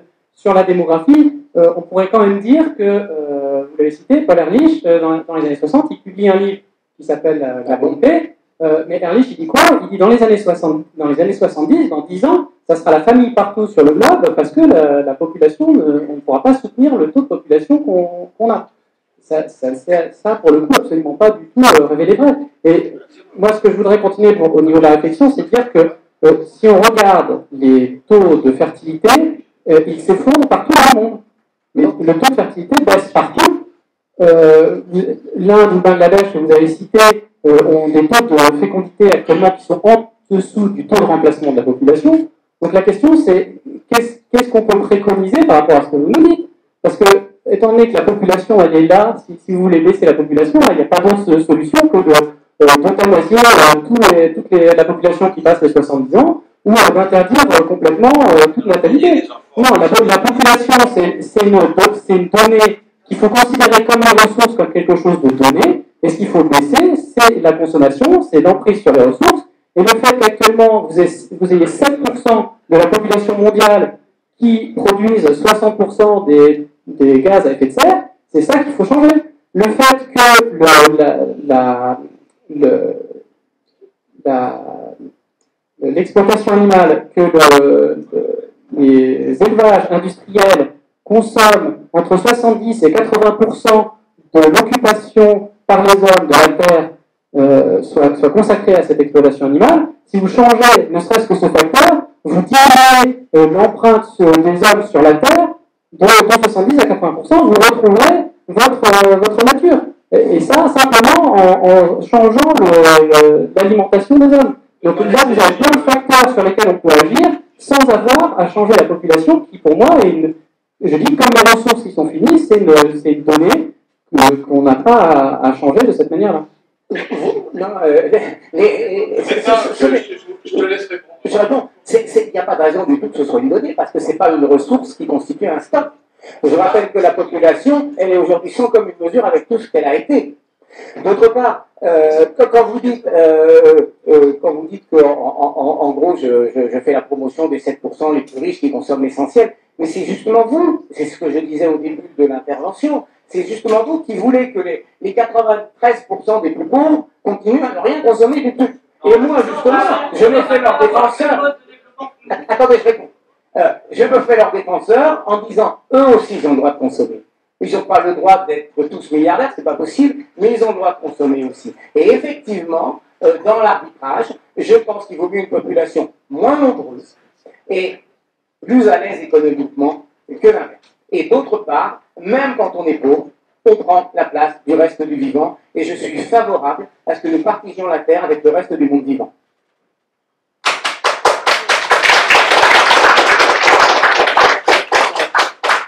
Un, un commentaire et une question. Le commentaire, je vous rassure, on peut ne pas euthanasier, on peut décider que les femmes décident tout simplement de réguler la population en décidant de ne pas avoir d'enfants. On n'a pas multiplié les, les approbations des uns et des, sur les, les Non, mais des uns et simplement, des autres. Donc évitons cela. Non, non, c'est juste, mais c'est juste pour répondre à la, à la question de l'euthanasie. Non, on peut quand même, en, en tout cas, c'est- les femmes peuvent avoir cette conscience-là. La, question que je voudrais vous poser, parce qu'elle est éminemment importante, c'est effectivement ce qui va se passer dans une dizaine d'années au niveau des ressources. On sait tous, si on a la chance de voyager dans certains pays, notamment les continents africains, que les ressources, c'est le problème majeur. L'eau, l'accès à l'eau et l'accès euh, aux terres cultivables. Donc moi, ce que je voudrais savoir, parce que vous n'avez pas trop développé ce point-là, euh, c'est qu'est-ce qui va se passer quand effectivement on arrivera en 2050, particulièrement en Afrique, sur des populations, des taux de population très importants. On sait déjà que euh, dans certains pays, on est aux limites. Euh, donc, qu'est-ce que, vous imaginez, vous, comme, euh, comme scénario? Vous- vous- vous- alors, pour répondre brièvement, un drame. Je ne vois pas d'autre solution. Je ne vois pas d'autre solution, c'est ce que j'appelle l'heure aux limites de la planète. Il y a deux façons de résoudre la question démographique. Euh, soit effectivement, on prend aujourd'hui des, des mesures douces, incitatives pour baisser la fécondité. Je ne réponds même pas sur l'euthanasie. c'est- mondial. c'est- mondial. oui, oui, on est tous contre la guerre, mais je veux dire, voilà. il- il- Non, il- les dépenses militaires dans la guerre. Les dépenses pas militaires, Mais euh, euh, évidemment, l'euthanasie, c'est tellement euh, affreux. euh, On, ne s'agit que d'aider les femmes à avoir un meilleur accès à la contraception pour qu'elles puissent effectivement baisser la fécondité. C'est évidemment la seule, la, seule chose à faire, il n'y a, pas de doute. Alors comment ça peut se résoudre? Ben, Malheureusement, si ça ne se résout pas par ces mesures incitatives et douces et qu'on prend tôt, eh bien ça se résoudra par des drames. Ça peut prendre la forme de famine, ça peut prendre la forme de conflits euh, locaux, ça peut prendre la forme de, conflits généralisés. Je ne suis pas, je ne suis pas devin, mais très sincèrement, je le crains fortement. Oui. euh, et on, va, on va essayer de, là, des questions très rapides parce qu'il il va falloir qu'on la soirée euh, vers 21h30. On approche de l'heure.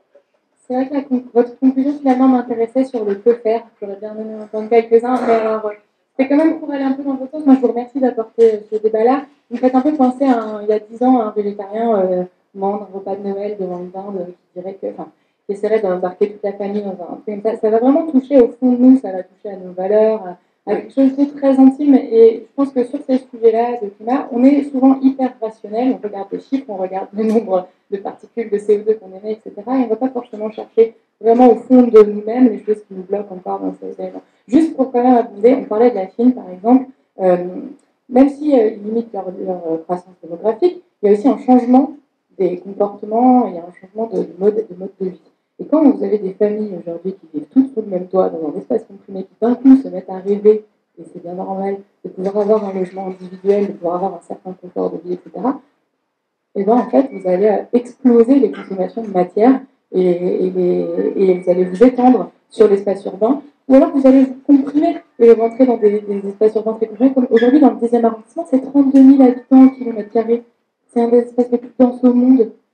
Donc en fait, oui, ça va aussi avec une privation de, li- de liberté, en fait, et de confort. Alors, juste un mot pour, euh, sur ce qu'on peut faire. Il est certain que les grands déterminants que sont le développement et l'éducation sont, les facteurs principaux. Nous n'avons pas directement accès, c'est vraiment l'ensemble de la politique mondiale qui doit aller dans ce sens. Ce que nous nous proposons dans les pays euh, développés où on consomme le plus, c'est de revoir notamment les systèmes d'allocation familiale de manière à les rendre un peu plus favorables aux petites familles et un peu moins favorables aux grandes familles. C'est la même, de ce point de vue-là, nous sommes sur la même proposition qu'Yves Cochet. Et sur les pays en voie de développement, c'est accélérer la transition démographique. Il semble qu'il y ait environ 30% des femmes qui, qui soient en attente insatisfaite de contraception, donc qui le demandent et qui n'y ont pas accès parce qu'économiquement c'est difficile ou parce que les centres de planification sont éloignés. Donc nous avions fait une pétition en, en la faveur de la chose suivante, c'est-à-dire de proposer que 25%, d'une manière générale, une partie beaucoup plus importante de l'aide au développement, soit consacrée à la planification familiale. Donc je rassure tout le monde, nous voulons juste aider les personnes à essayer d'avoir un petit peu moins d'enfants. Nous ne voulons tuer personne. Nous voulons simplement préserver leur avenir et pour Le rassurer. Allez, une question courte et une deuxième là, et puis on arrête. Euh, là, c'est une question pour Monsieur Couvet. Euh, Ah, oui.